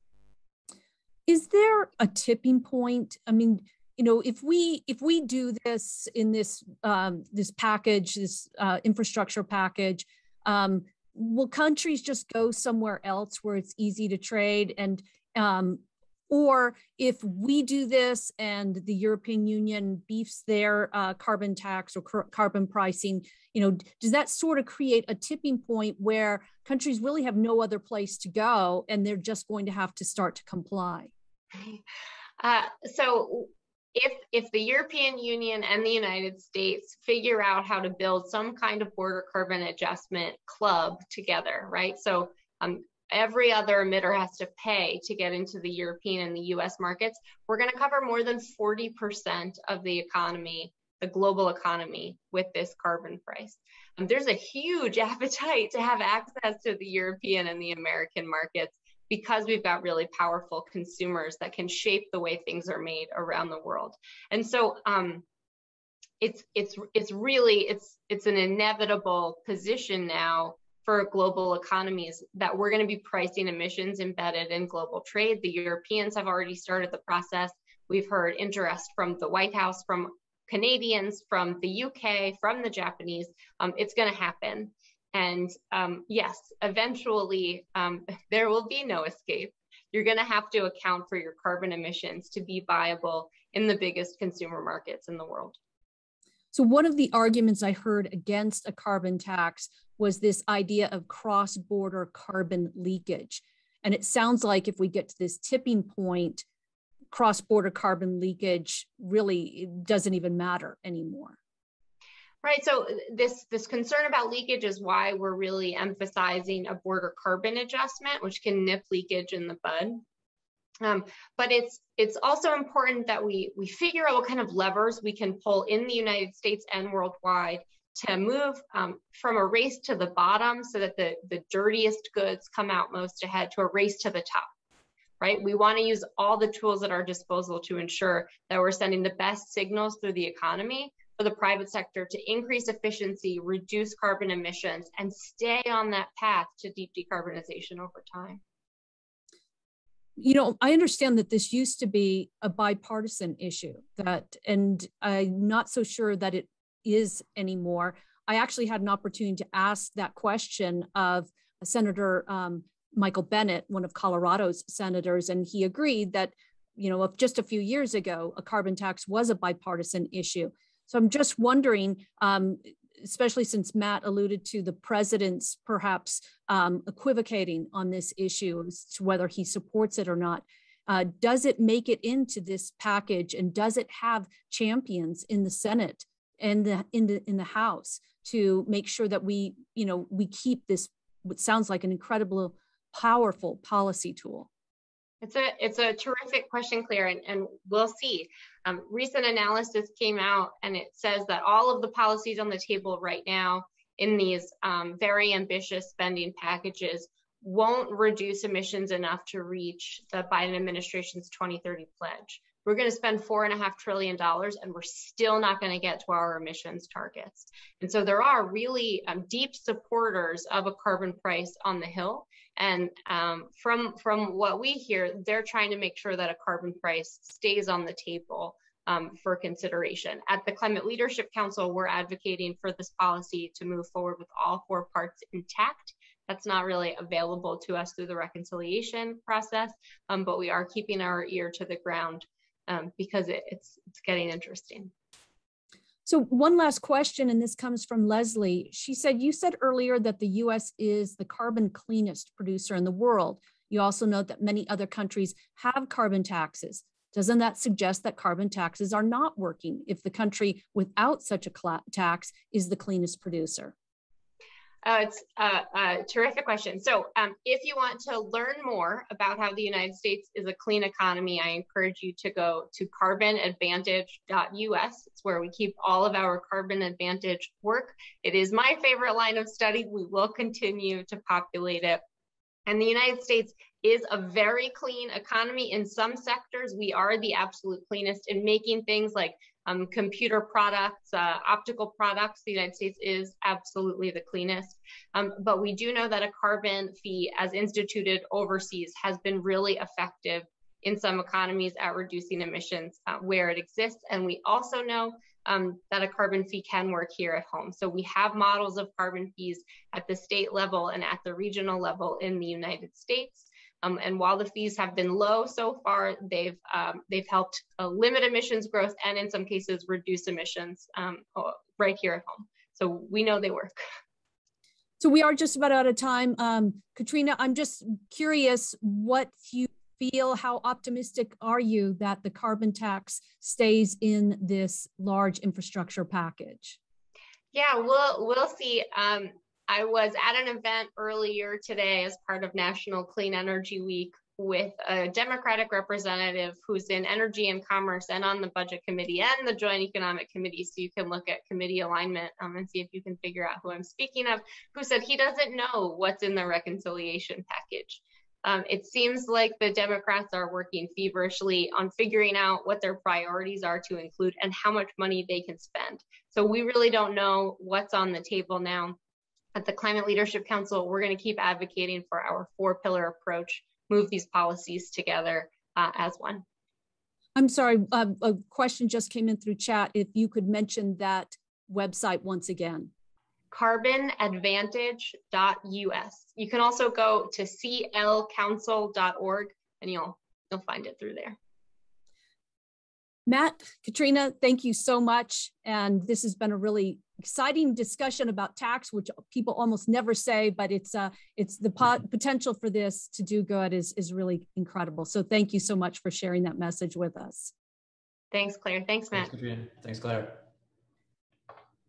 An old technology is playing a significant role in the future of food. So in this next somewhat lighthearted segment, I'm going to talk with Cordon Bleu trained chef Katie Quinn about her recent book, which I actually have a copy of it here, Cheese, Bread, and Wine.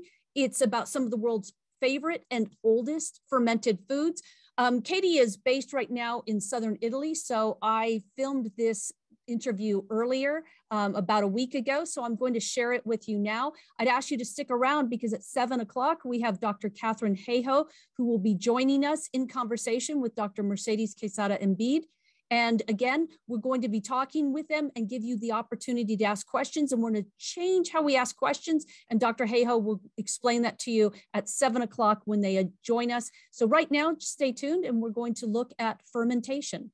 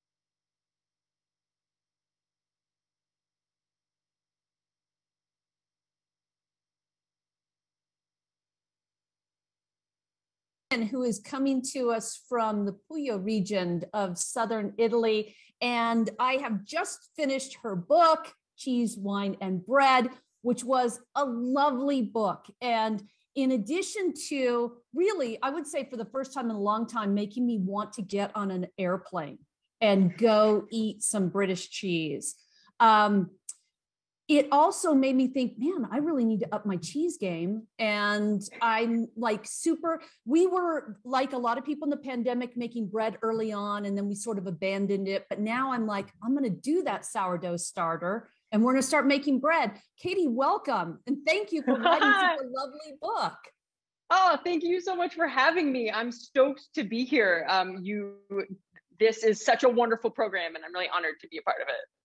So, how is, it came about that you are part of a program on really on the environment and the sustainability is fermentation, because it's estimated that there's going to be 10 billion people perhaps on the planet by 2050.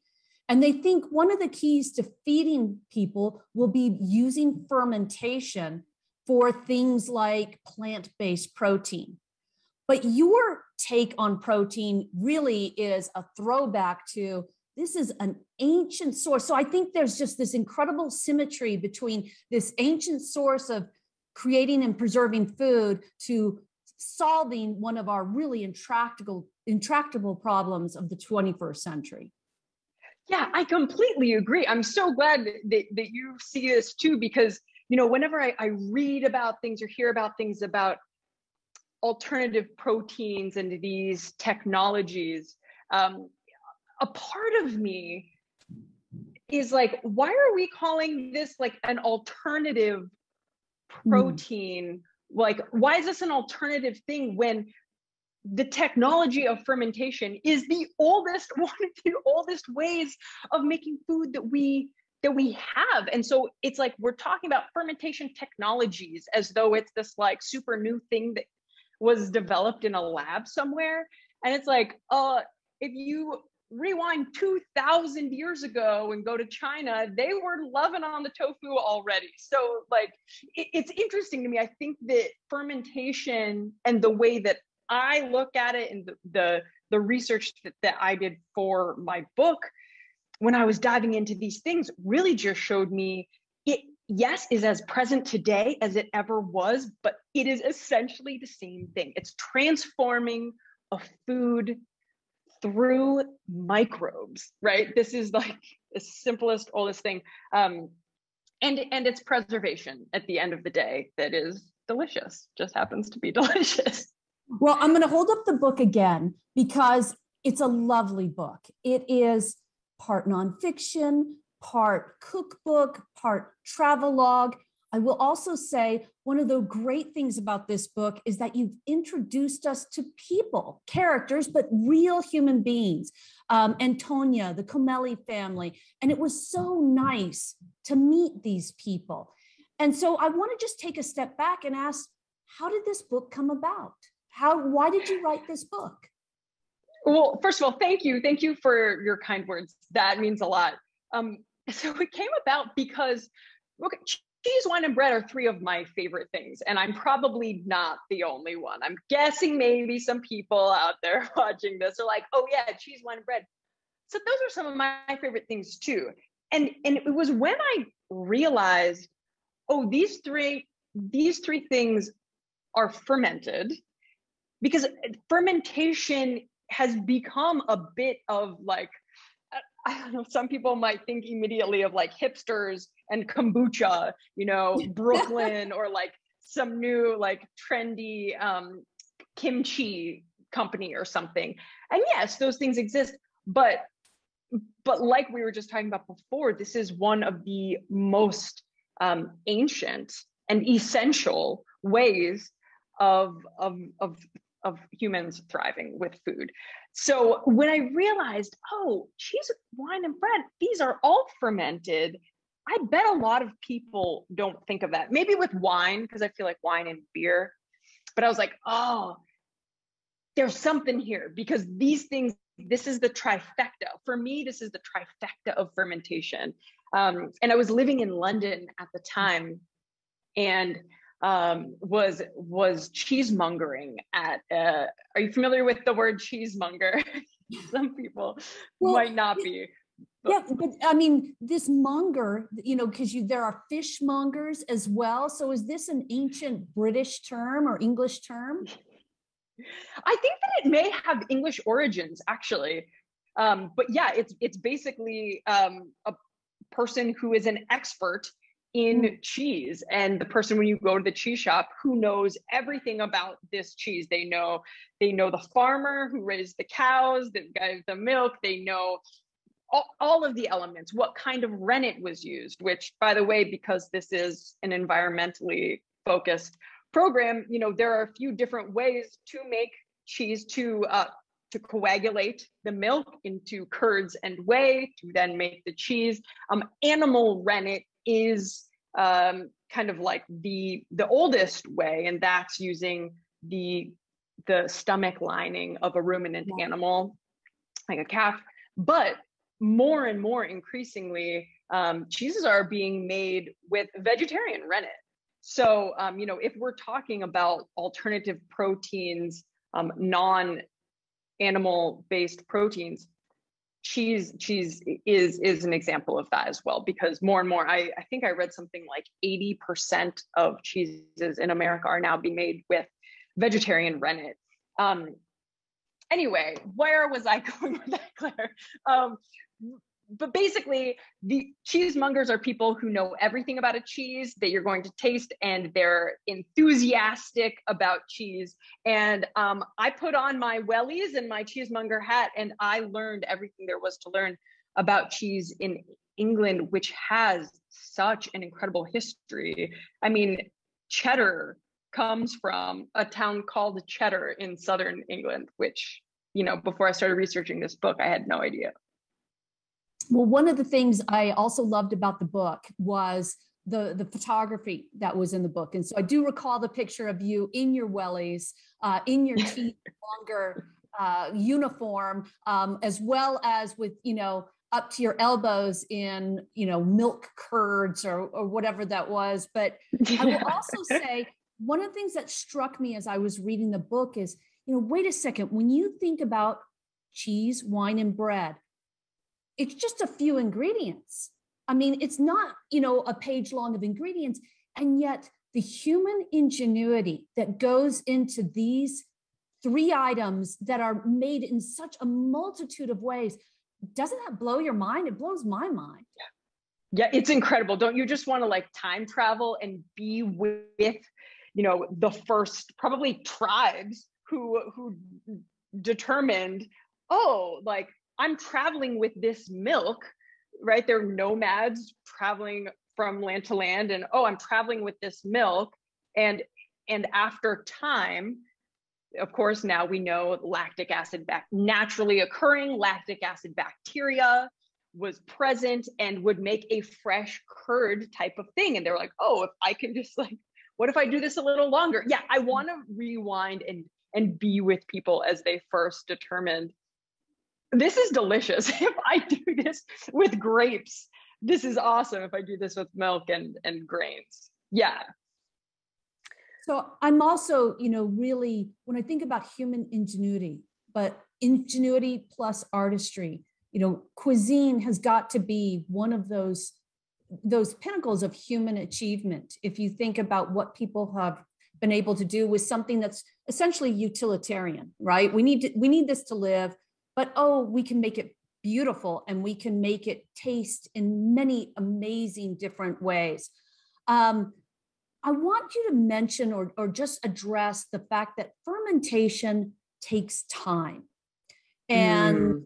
and we live in a time where people are used to kind of living on like permanent fast forward. So does fermentation have a place in a world where we're living so fast?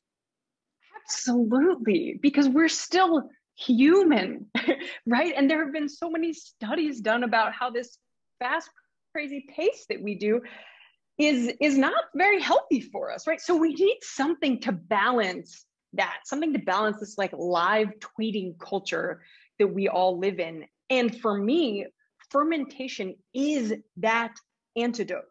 I mean, when when I get up every morning and I feed my sourdough starter. It, you know, these these things become routine and they they make me slow down, right? So I can't go immediately to my email because I can't be on email while I'm feeding my starter, right? So I, I think it it's one of the few things that actually makes us slow down in a really important way. And it's just like you can't rush fermentation. Time is the unspoken ingredient in all of the, these things that I read about cheese, wine, and bread. We can talk about, um, you know, the grains. We can talk about the grapes. We can talk about the milk, but but the ingredient that is the same in all of those that is so key is time, just like you said. And I, I think that hand in hand with that, and you had mentioned this earlier, is the simplicity involved. And so humans have found a way actually to speed up fermentation in some ways. And we see we see that it's not always the best thing. Like bre- a lot of breads that that some people like think of as bread, the grocery store shelf bread, if you look at the ingredients list, there is a ton of additives. And also, mm. what might not even be on that ingredients list is additives included in the flour, right? So the flour, when it's milled, all these things are added. And these additives are with the purpose of expediting the fermentation process, making the yeast, um, you know, grow extra active, extra quickly. And you know what? we can taste the difference, we can feel the difference in our bodies. There have been so many studies done, and I, I do talk about it in the book, but it's a whole wormhole um, that I didn't entirely go into. But there have been so many studies shown that sourdough, you know, breads made fermented with sourdough versus an a yeast additive um, is it, our bodies digest it better. And part of that is that fermentation actually pre-digests foods for our bodies. So many, in many cases, not always, but in many cases, people who um, think that they have a, a gluten allergy it really it it's not all breads um, it's not all breads and fermentation is really a huge part of that yeah it's it's uh so fermentation yes absolutely has a place in today's world. In fact i think it might be more important than ever to to really hang on to it. You know that just reminded me of something and i think maybe i'm getting a little philosophical here but um, i love it. Bring it. this has been a year of sort of disconnect where people had to sort of isolate but maybe I didn't quite understand this, but there was a part in your book where you're talking about bread dough and sourdoughs, and you were talking about the microbes on the baker's hands and in the bread. Like, like there's a part of this person that's in my loaf of bread. Am I like, is that too far off left field? No, no, it's it's true. It's it's absolutely true. Um, so there's a there's a korean word for this which i'm blanking on at the top of my head but but there's a word for this and it has to do with like so when you make kimchi right your hands that like a mother's hands is like mm. massaging yes the absolutely. cabbage and all the other things yeah. and so there's a korean word for literally mother's hands kimchi and it's the same it's the same idea of what you're saying because bakers um, actually that so what's really okay so i'm going to get specific here but it goes to show that it's kind of a symbiotic relationship here between the person making the food and the food itself because so this korean word that i'm blanking on that i just mentioned is talking about how the kimchi itself changes based on the the microbes healthy microbes, might I add, just for hmm. anyone who's healthy microbes from, you know, cleaned hands still have healthy microbes on them. Um, so the kimchi is affected by mother's hands making it, for example, but the other way around as well. There's a study written about in the New York Times that um, that sour the sourdough bakers, not that the bread is not that they impart some of themselves to the bread, but that the bread imparts itself to the bakers so that the mm. baker's hands contain um, traces of their work, of their life's work. And that is uh, the microbes in sourdough. So there's a line in your book that I wanted to just ask you about, and that's the, the phrase eating with integrity. So, how hmm. does one eat with integrity? You know where your food comes from.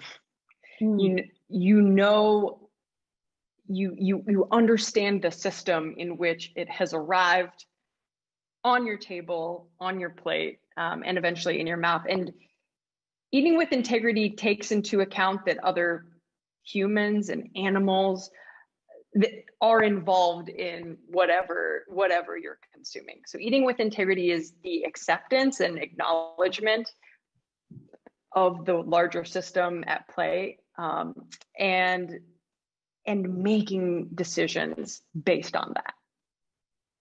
So before we started our webinar, we were discussing offline a little bit about our ancestry. And I'm just wondering in the course of thinking about these older, slower foods, did you did it make you think any differently about your ancestors? Yes. Hugely, hugely. In fact, you know, I didn't mention this when we were chatting ab- about this before the chat, but so I'm living in Italy now, right, in southern Italy. Um,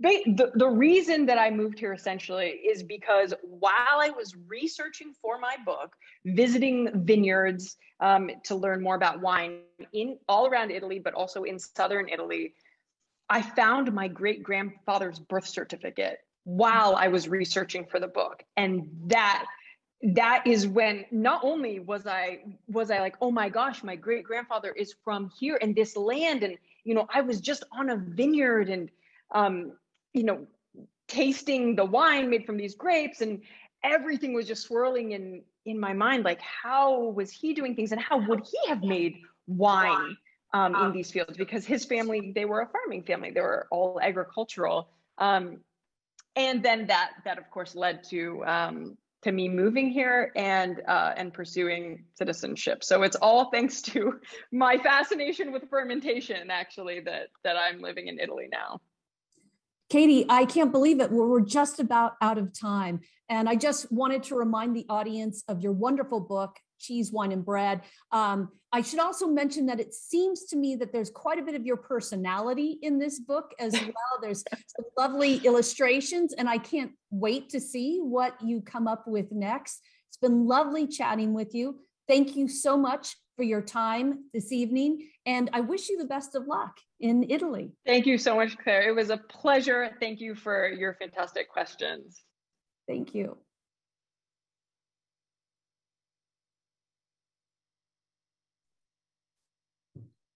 Welcome back, everyone, and thank you for joining us this evening. We are now entering our final segment, and she has been called one of the nation's most effective communicators on climate change by the New York Times. Dr. Katharine Hayhoe has found that the most important thing we can do to address climate change is to talk about it. And she wants to teach you how. Her book, Saving Us, was just released this week, two days ago. And tonight she joins us along with Dr. Mercedes Quesada Embid to discuss how we move forward as individuals and a country to affect positive change.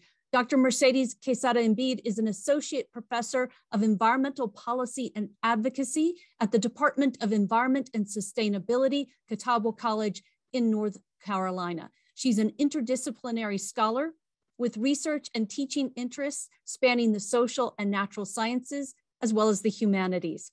Her interests gravitate toward and explore an array of eco-egalitarian concerns, in particular, the role of socio-ecological resilience as it relates to local and global sustainability efforts. Dr. Katharine Hayhoe is the chief scientist at the Nature Conservancy.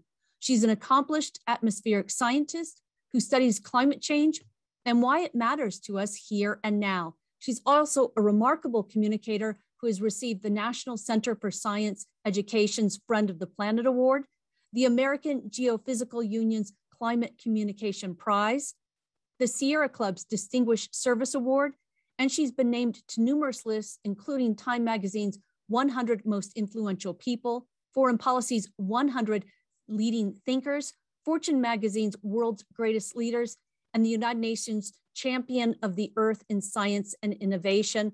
Welcome to both Dr. Mercedes Quesada Embid and Dr. Hayhoe. And I know Dr. Hayhoe would like to explain how you're going to submit questions this evening to her. And it's going to be a little bit different. So we're gonna ask you not to use the Q&A here, but she's going to explain how she wants you to submit questions. Good evening, Dr. Hayhoe. Hi, it's great to be with you here today even virtually. So we wanted to do something kind of fun. We are going to be talking with each other. Uh, Mercedes has some questions prepared, and then we're going to be taking your questions. But I wanted to take them via poll everywhere because you can enter your questions, you can see everybody else's, and you can easily upvote the ones you most want us to get to. So before we get there, we're going to do a little bit of practice, okay? I know you're like, oh, here goes the professor, but I promise you it's fun. So to join the discussion, I put the link in the chat. It's also right here. You go to P-O-L-L-E-V dot com slash Katharine. If you're typing it out, you have to make sure to spell Katharine right. It's got two A's in it like Katharine Hepburn. If you want, you can just click on the link in the chat. It's right there too. You don't have to enter your name, just push skip. Anonymous is fine.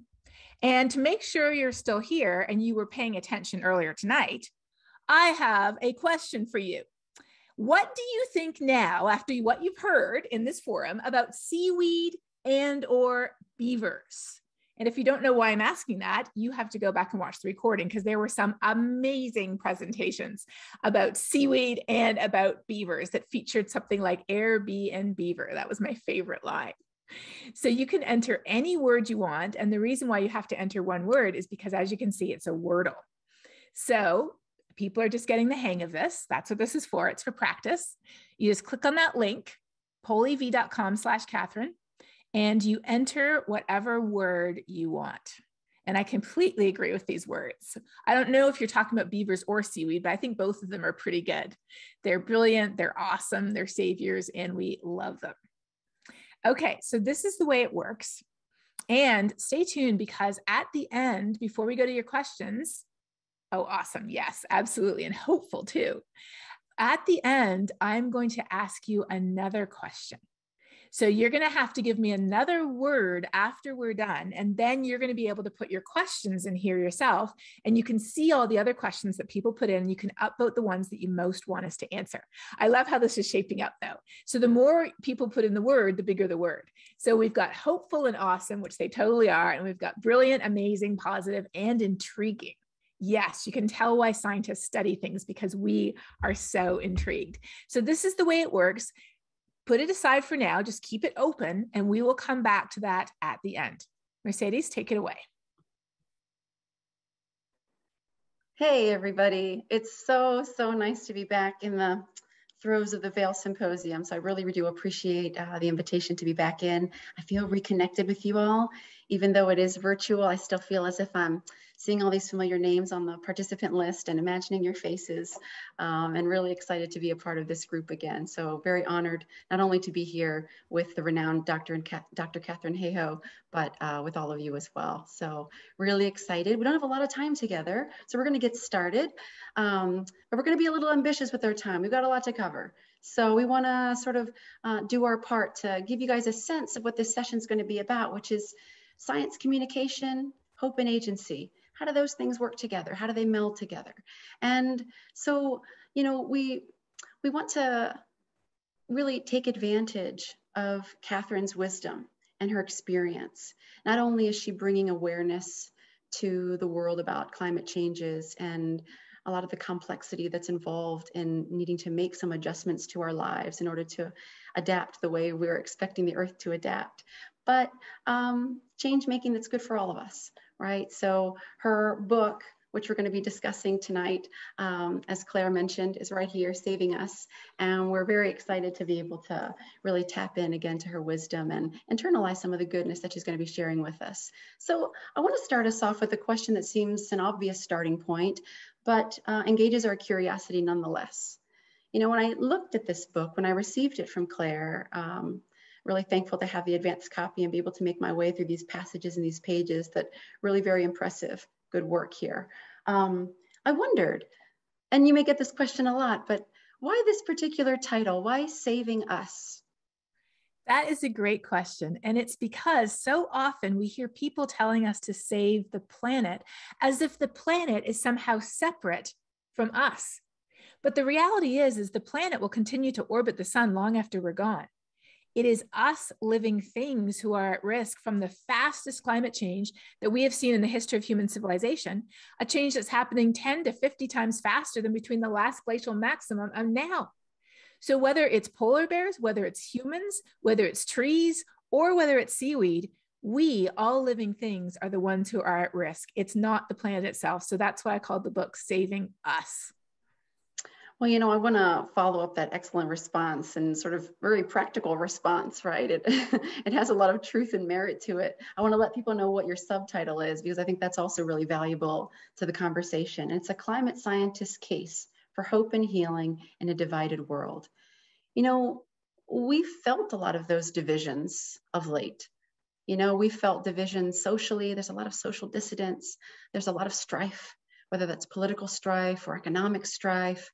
And could you just kind of contextualize for us what you mean when you say divided world?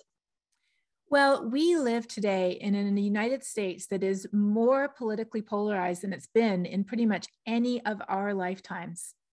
Today, as I talk about in the book, people who adhere to one party and vote for one party, they see people who vote for the other party more as enemies than fellow citizens.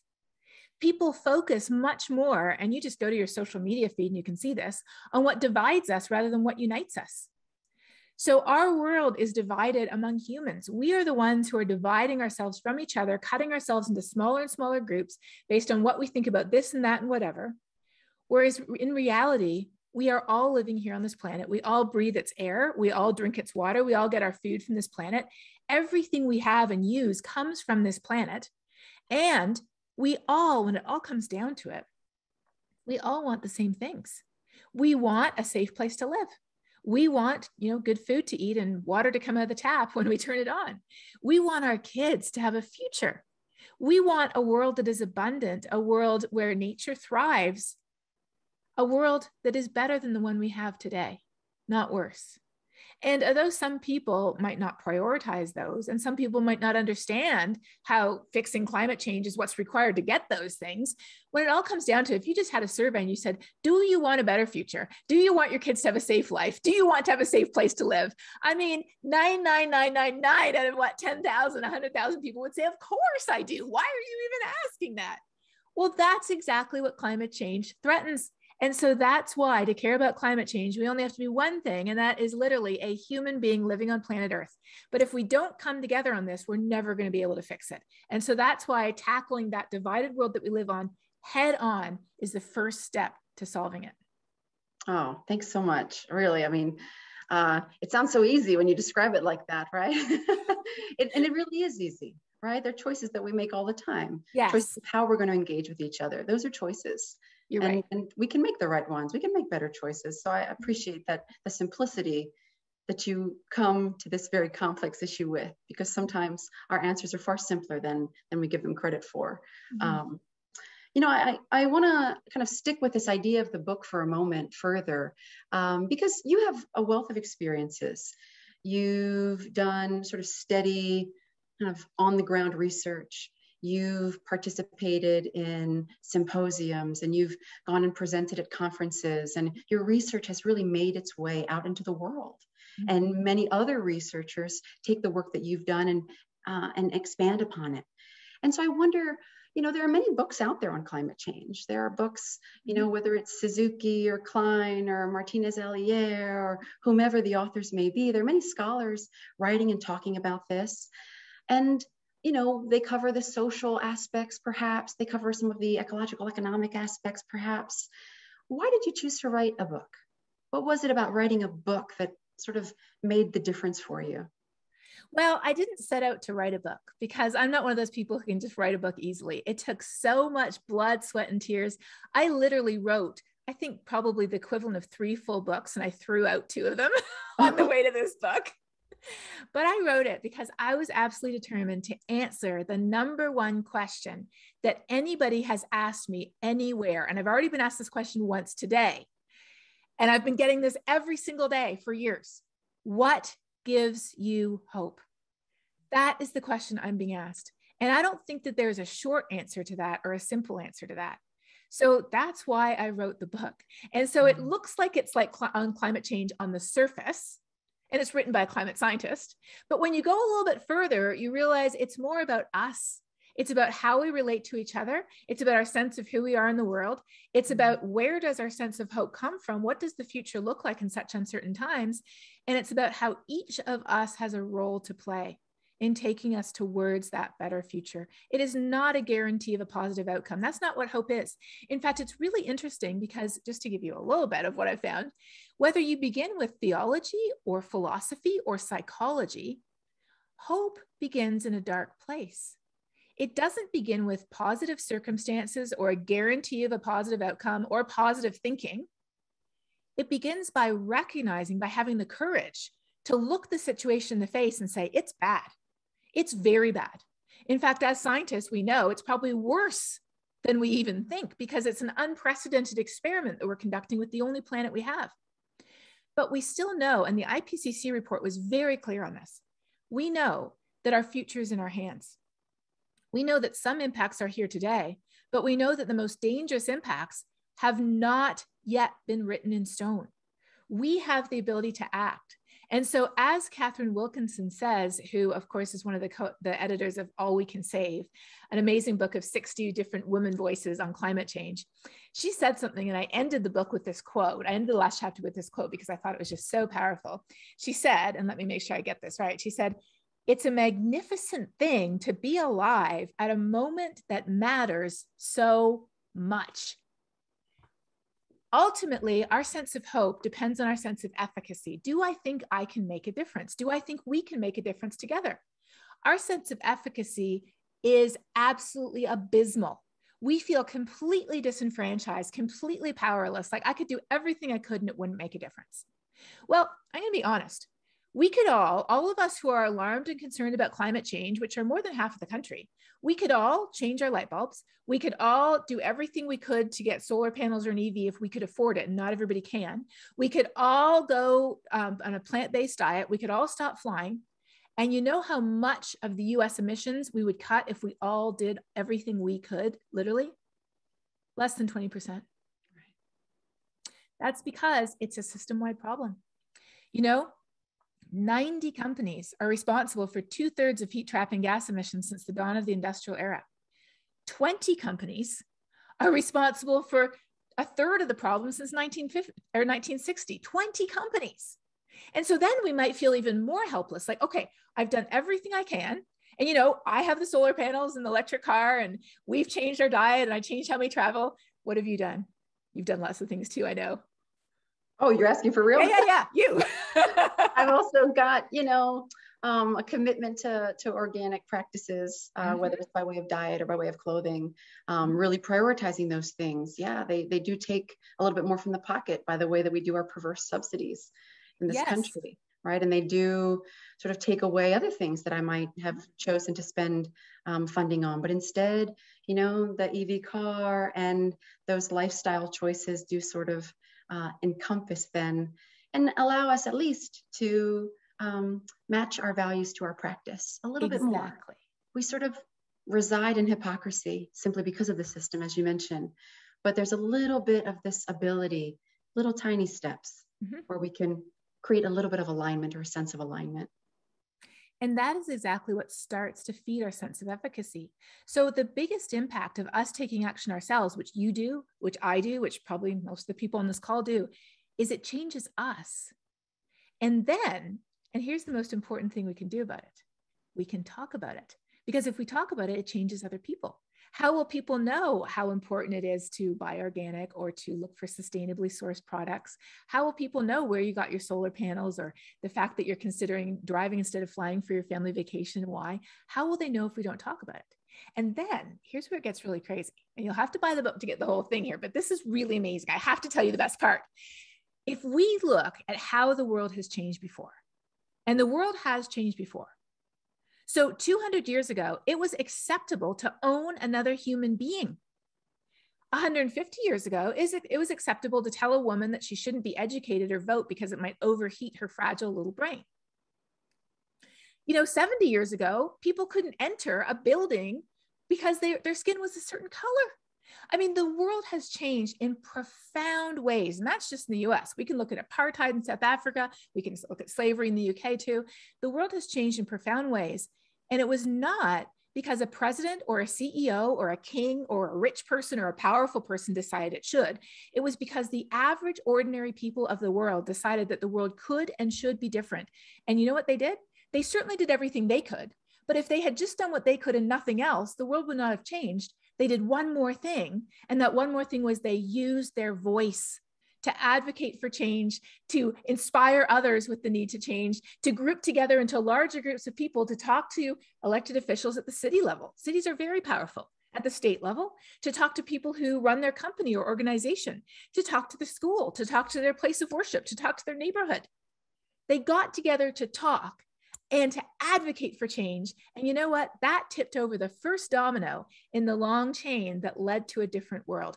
They did it back then. And if they did it back then, why can't we do it now?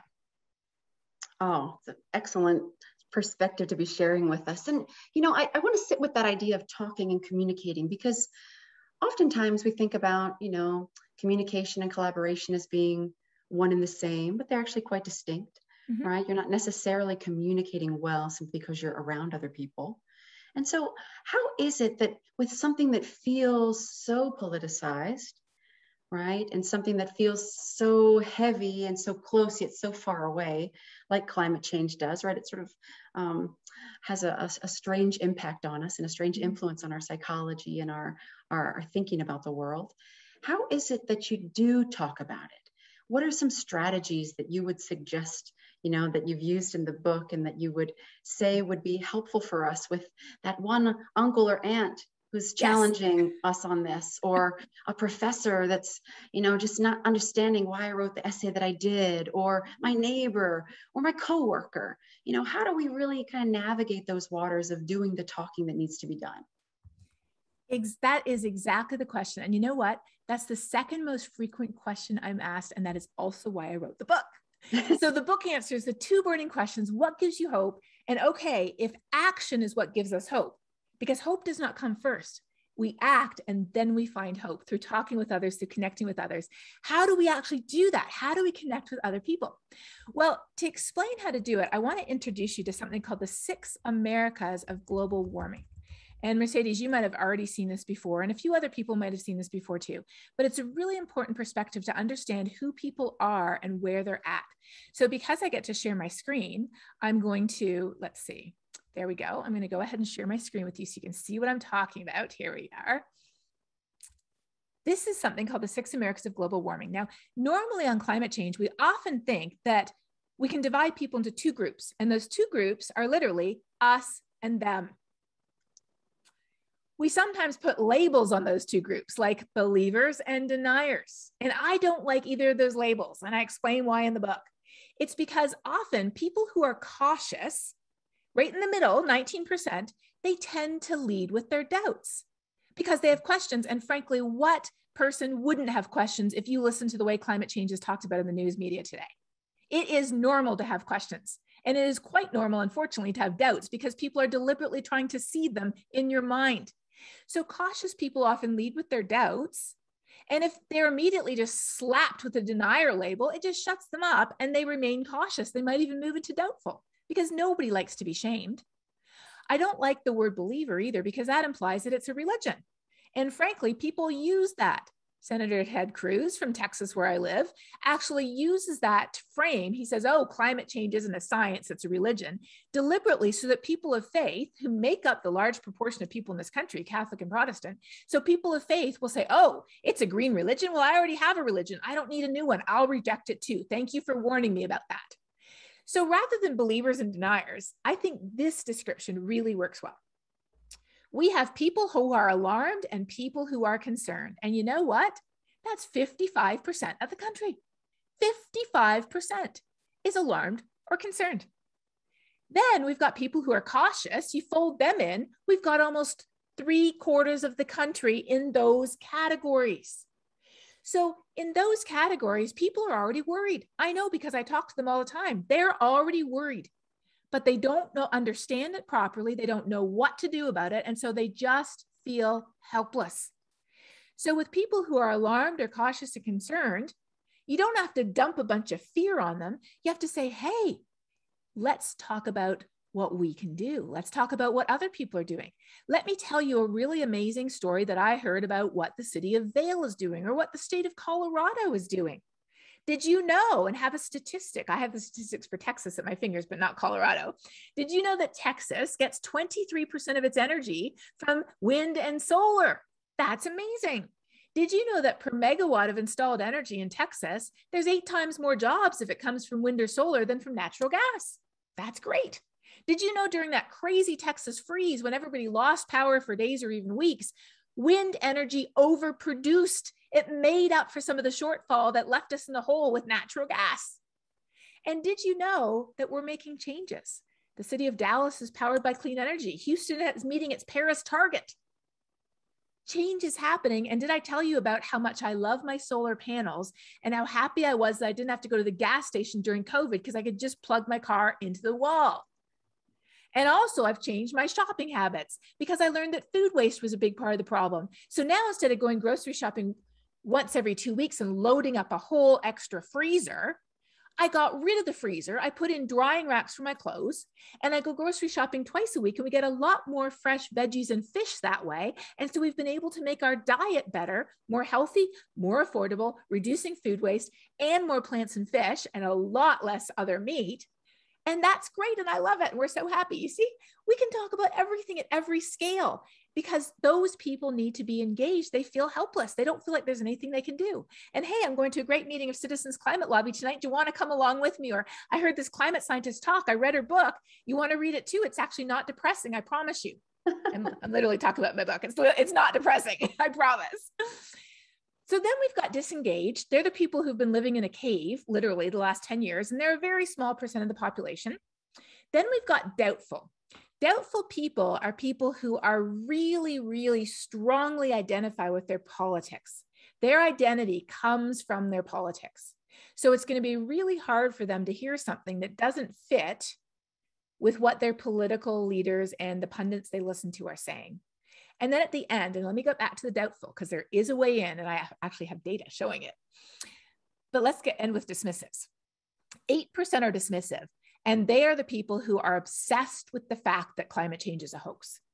They talk about it all the time. They post about it on social media all the time. They will argue with you till the cows come home. And you know what?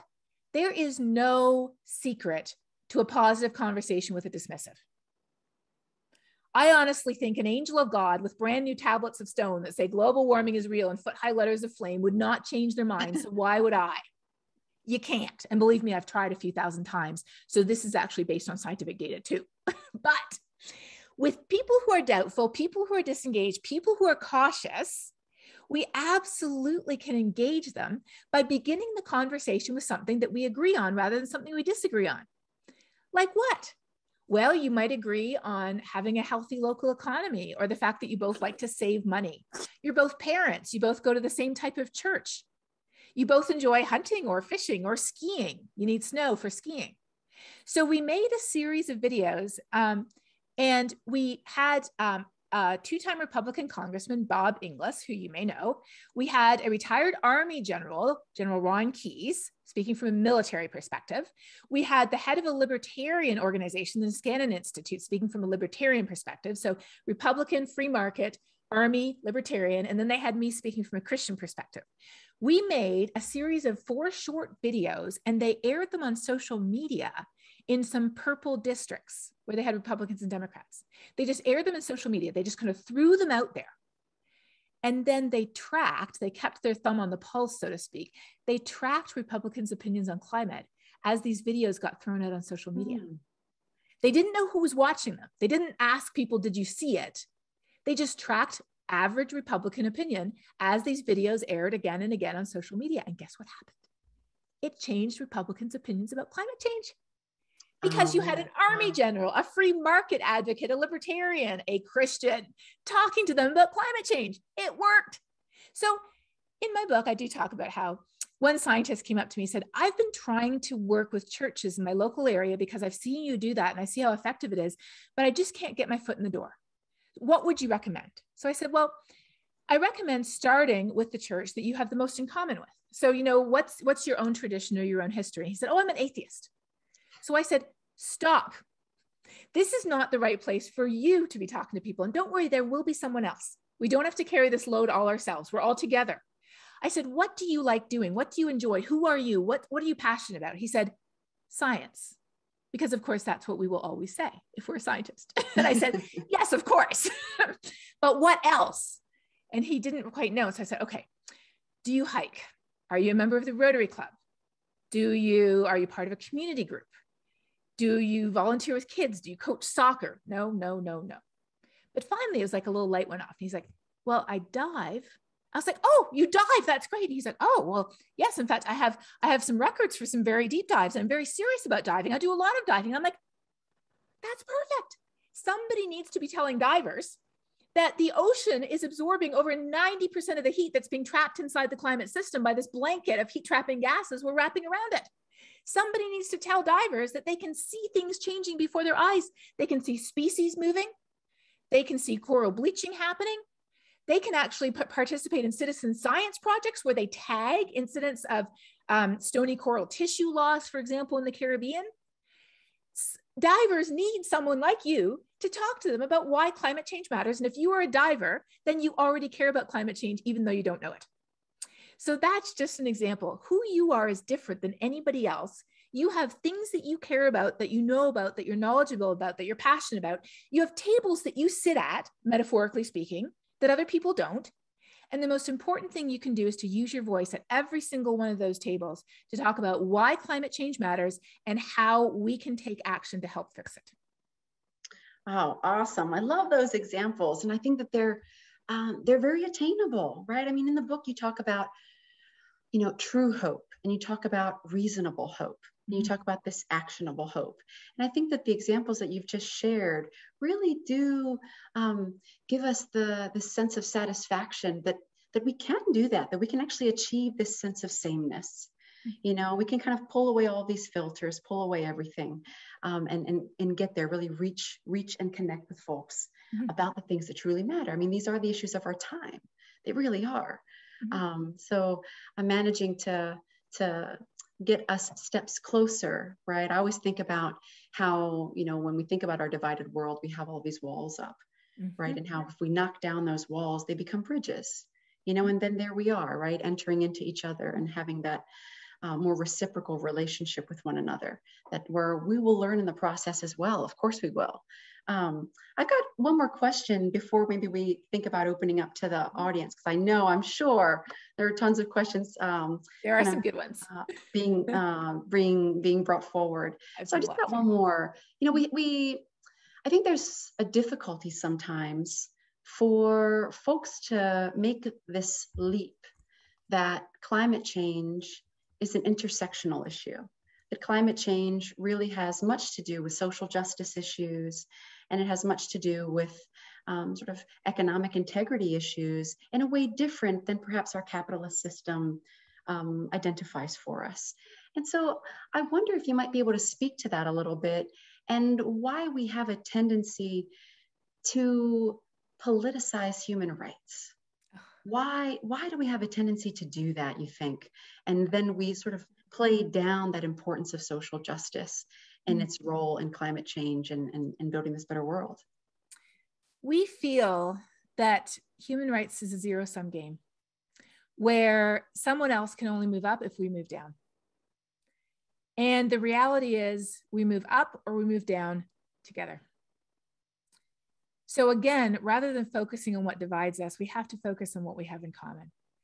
And with climate change, I'm going to say something kind of provocative. I'm a climate scientist, and I don't think climate change needs to be on our priority lists at all. Why is that? Well, so often we feel like, okay, well, you're a climate scientist, so it's probably number one for you, maybe number two. But you know, it's number 12 for me because I have these other urgent things above it. Yeah, of course, like you have, might have health issues, you're worried about your family, you know, And so we sort of feel guilty, like we have to sort of move climate change up the list. But then you've got you've got Black Lives Matter, you've got gender equity, and like where do those fit with climate change? Which one's on top? I'm going to free you up. Take climate change off that list. Take it off entirely. Put it right over here. Why? Think about what is at the top of your list that you care about. So I'm going to tell you mine. I'm going to ask Mercedes to tell you hers, and then I'm going to ask you what what to give me just one. We're going to cheat. We're going to have several things. So what's at the top of my priorities? What do I care most about? I don't know that I can give it to you in order, but I will definitely say first of all, as a mom, the fact that I have a child. You know, when that child is born, something happens to your heart. It just changes you forever, and you would do anything for them to ensure their future. I care very much about my family and people I love. I care about the place where I live. I care about the place I grew up, where all my family has lived for generations in Canada. I care very much about the fact that the poorest and most marginalized people are being disproportionately affected by climate change, whether it's Black and brown neighborhoods right here in Texas where I live, or whether it's poor farmers in India on the other side of the world. They're the ones who are suffering most. I care because um, because I love snow. I'm Canadian. I love doing things outdoors, and we need our snow. And I also care because I'm a Christian. And I believe that we humans, all of us, have responsibility to care for every aspect of this amazing planet that we've been given because we have the ability to do that. And we have the ability to care for plants, for animals, and for our sisters and our brothers too, many of whom are not as fortunate as we are.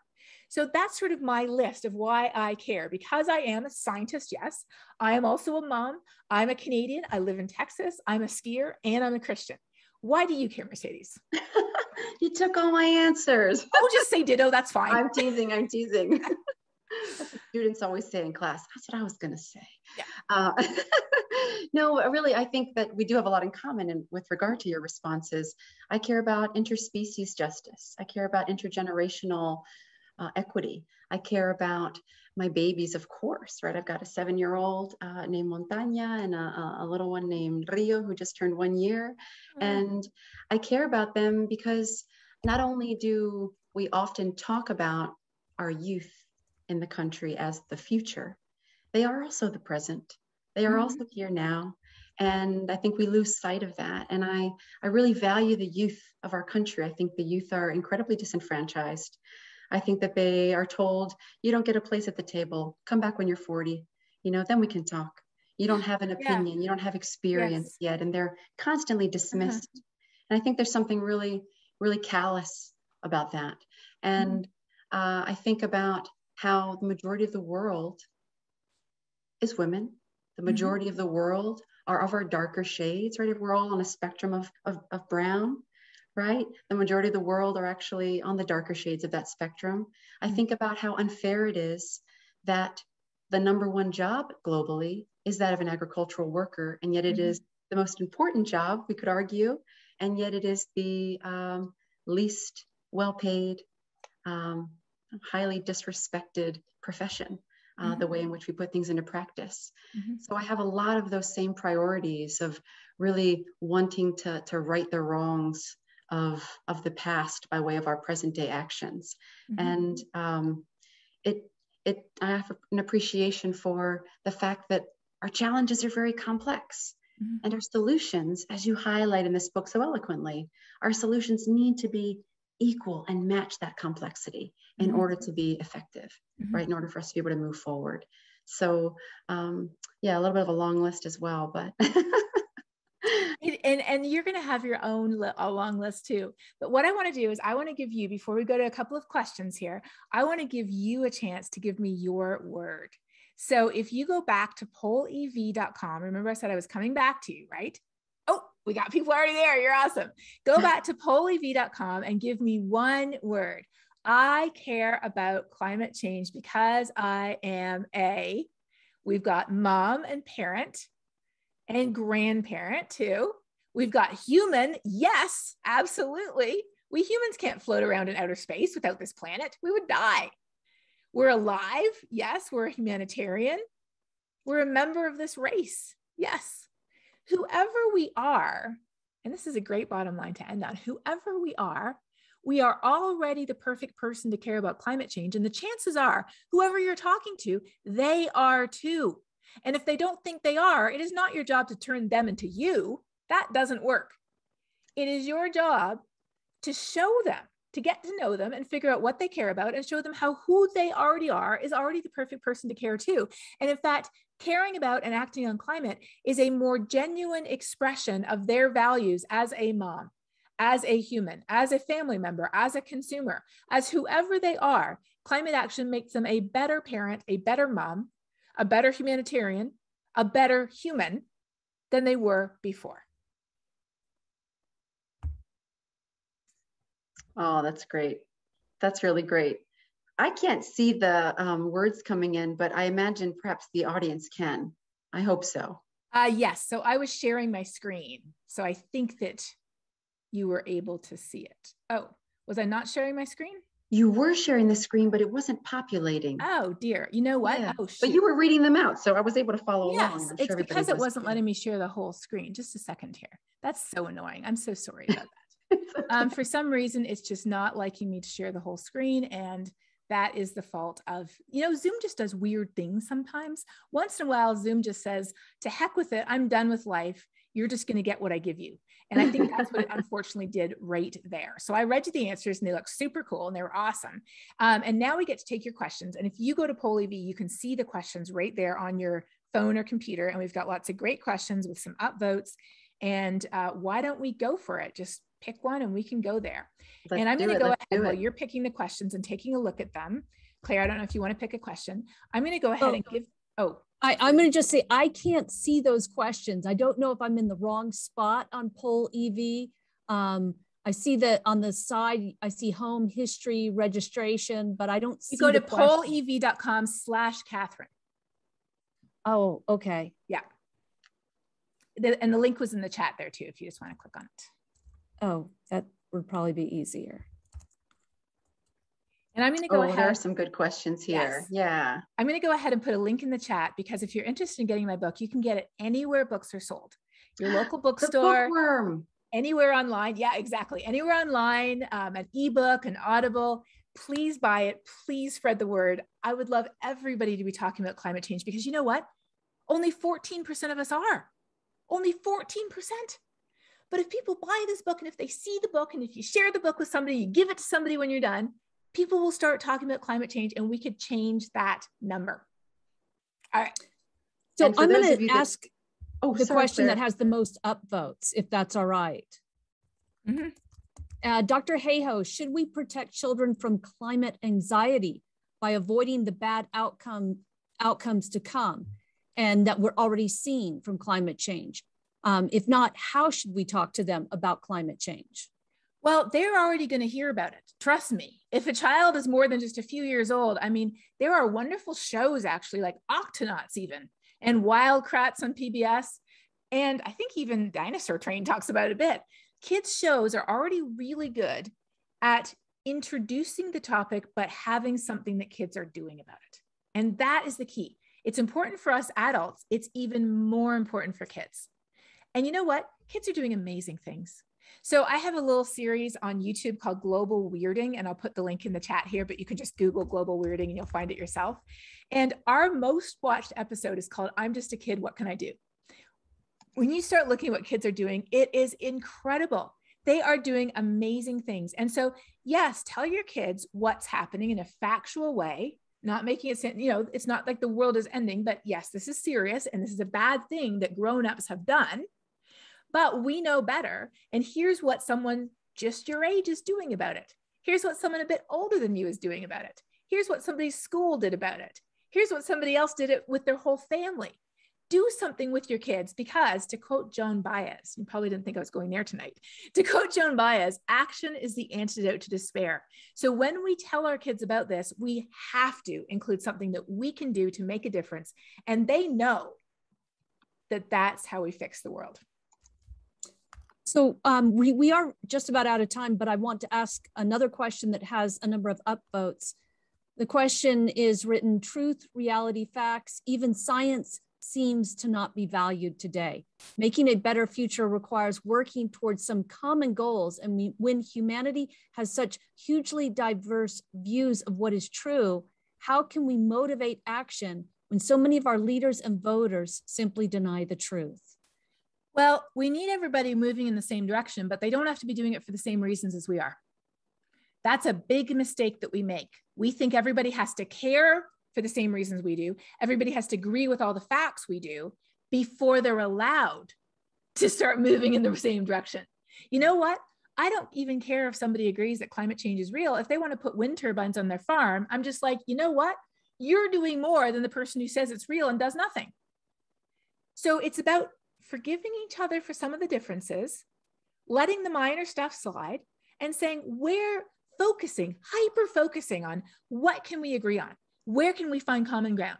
Our, our circles might only overlap a tiny bit, but let's focus all our attention on where we overlap and figure out what we could do together. And they might want to do it for one reason, you might want to do it for another. It does not matter. You're moving in the same direction together. So I'm going to turn it back over to um, Dr. Quesada Embid to ask the final question. Oh, thanks very much, Claire. I think you selected some good ones, and I really appreciate everybody um, thinking and voting and looking at those questions carefully. You could get this at the Edwards Bookworm, right? It's going to be there for you to purchase, so you can make your way over to that great bookstore that I miss so much. Um, this same energy that you are seeing on this call is the energy that is in the book right? Uh, Dr. Hayhoe really approaches this with such enthusiasm, not only enthusiasm, but kind of an eagerness, right? And, uh, and an excitement that really challenges us to find that same level of high energy, focus, and hope for doing the right thing, right? And so I guess, you know, uh, my closing, it's not really a question, rather a, closing comment, and then I'll invite you to uh, share a closing comment as well, is really just um, an appreciation for your ability to, you know, bring us into this gentle fold of mm-hmm. trying to do the next good thing for society, for ourselves, for our families, for the non human, and really helping us to be reminded that we've got this larger, all encompassing set of spheres. And that statement that you just made of focus on where we overlap right? That notion of overlapping really does fit in well with a world that's incredibly globalized, with a world that is incredibly connected by way of social media, with a world that, you know, uh, gives us these opportunities to learn and see and engage in ways that just weren't possible before. And so I really just appreciate, um, you know, your ability to kind of get us to to internalize that and mm-hmm. really reflect upon it and consider what what we're going to do tomorrow what's our what's our thing we're going to do tomorrow? Maybe yes. tonight. What's that what's that conversation that we're going to have? And if you're still not totally sure about the whole conversation thing if you're not sure about why it really matters or if you're not sure about how you could even do it don't worry the book goes there. It really does. So my sister read it before I, fin- I finished it and she's like you need a chapter that just tells people how to do it. And i was like oh okay. So she's like how do you start? What do you say? What do you say next? What if they do this? How do you end? So I was like, all right.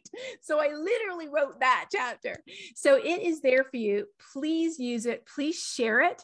If you like it, please review it online because that helps more people find it. If you review it on like um, Goodreads or on Amazon, a lot of people even go to Amazon, if even if they don't buy from a local bookstore, they go there to look at the reviews.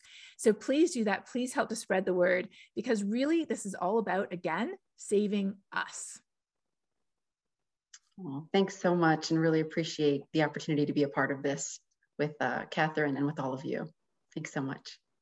Thank you both. What a fabulous discussion and what a really great night. And for our audience who stayed with us for this really kind of an experiment for us. This was a little bit outside of what we typically do. We usually have hour long webinars, and tonight's program will be almost three hours and just a wide range of really great topics uh, a newfound respect on my part for beavers and for seaweed.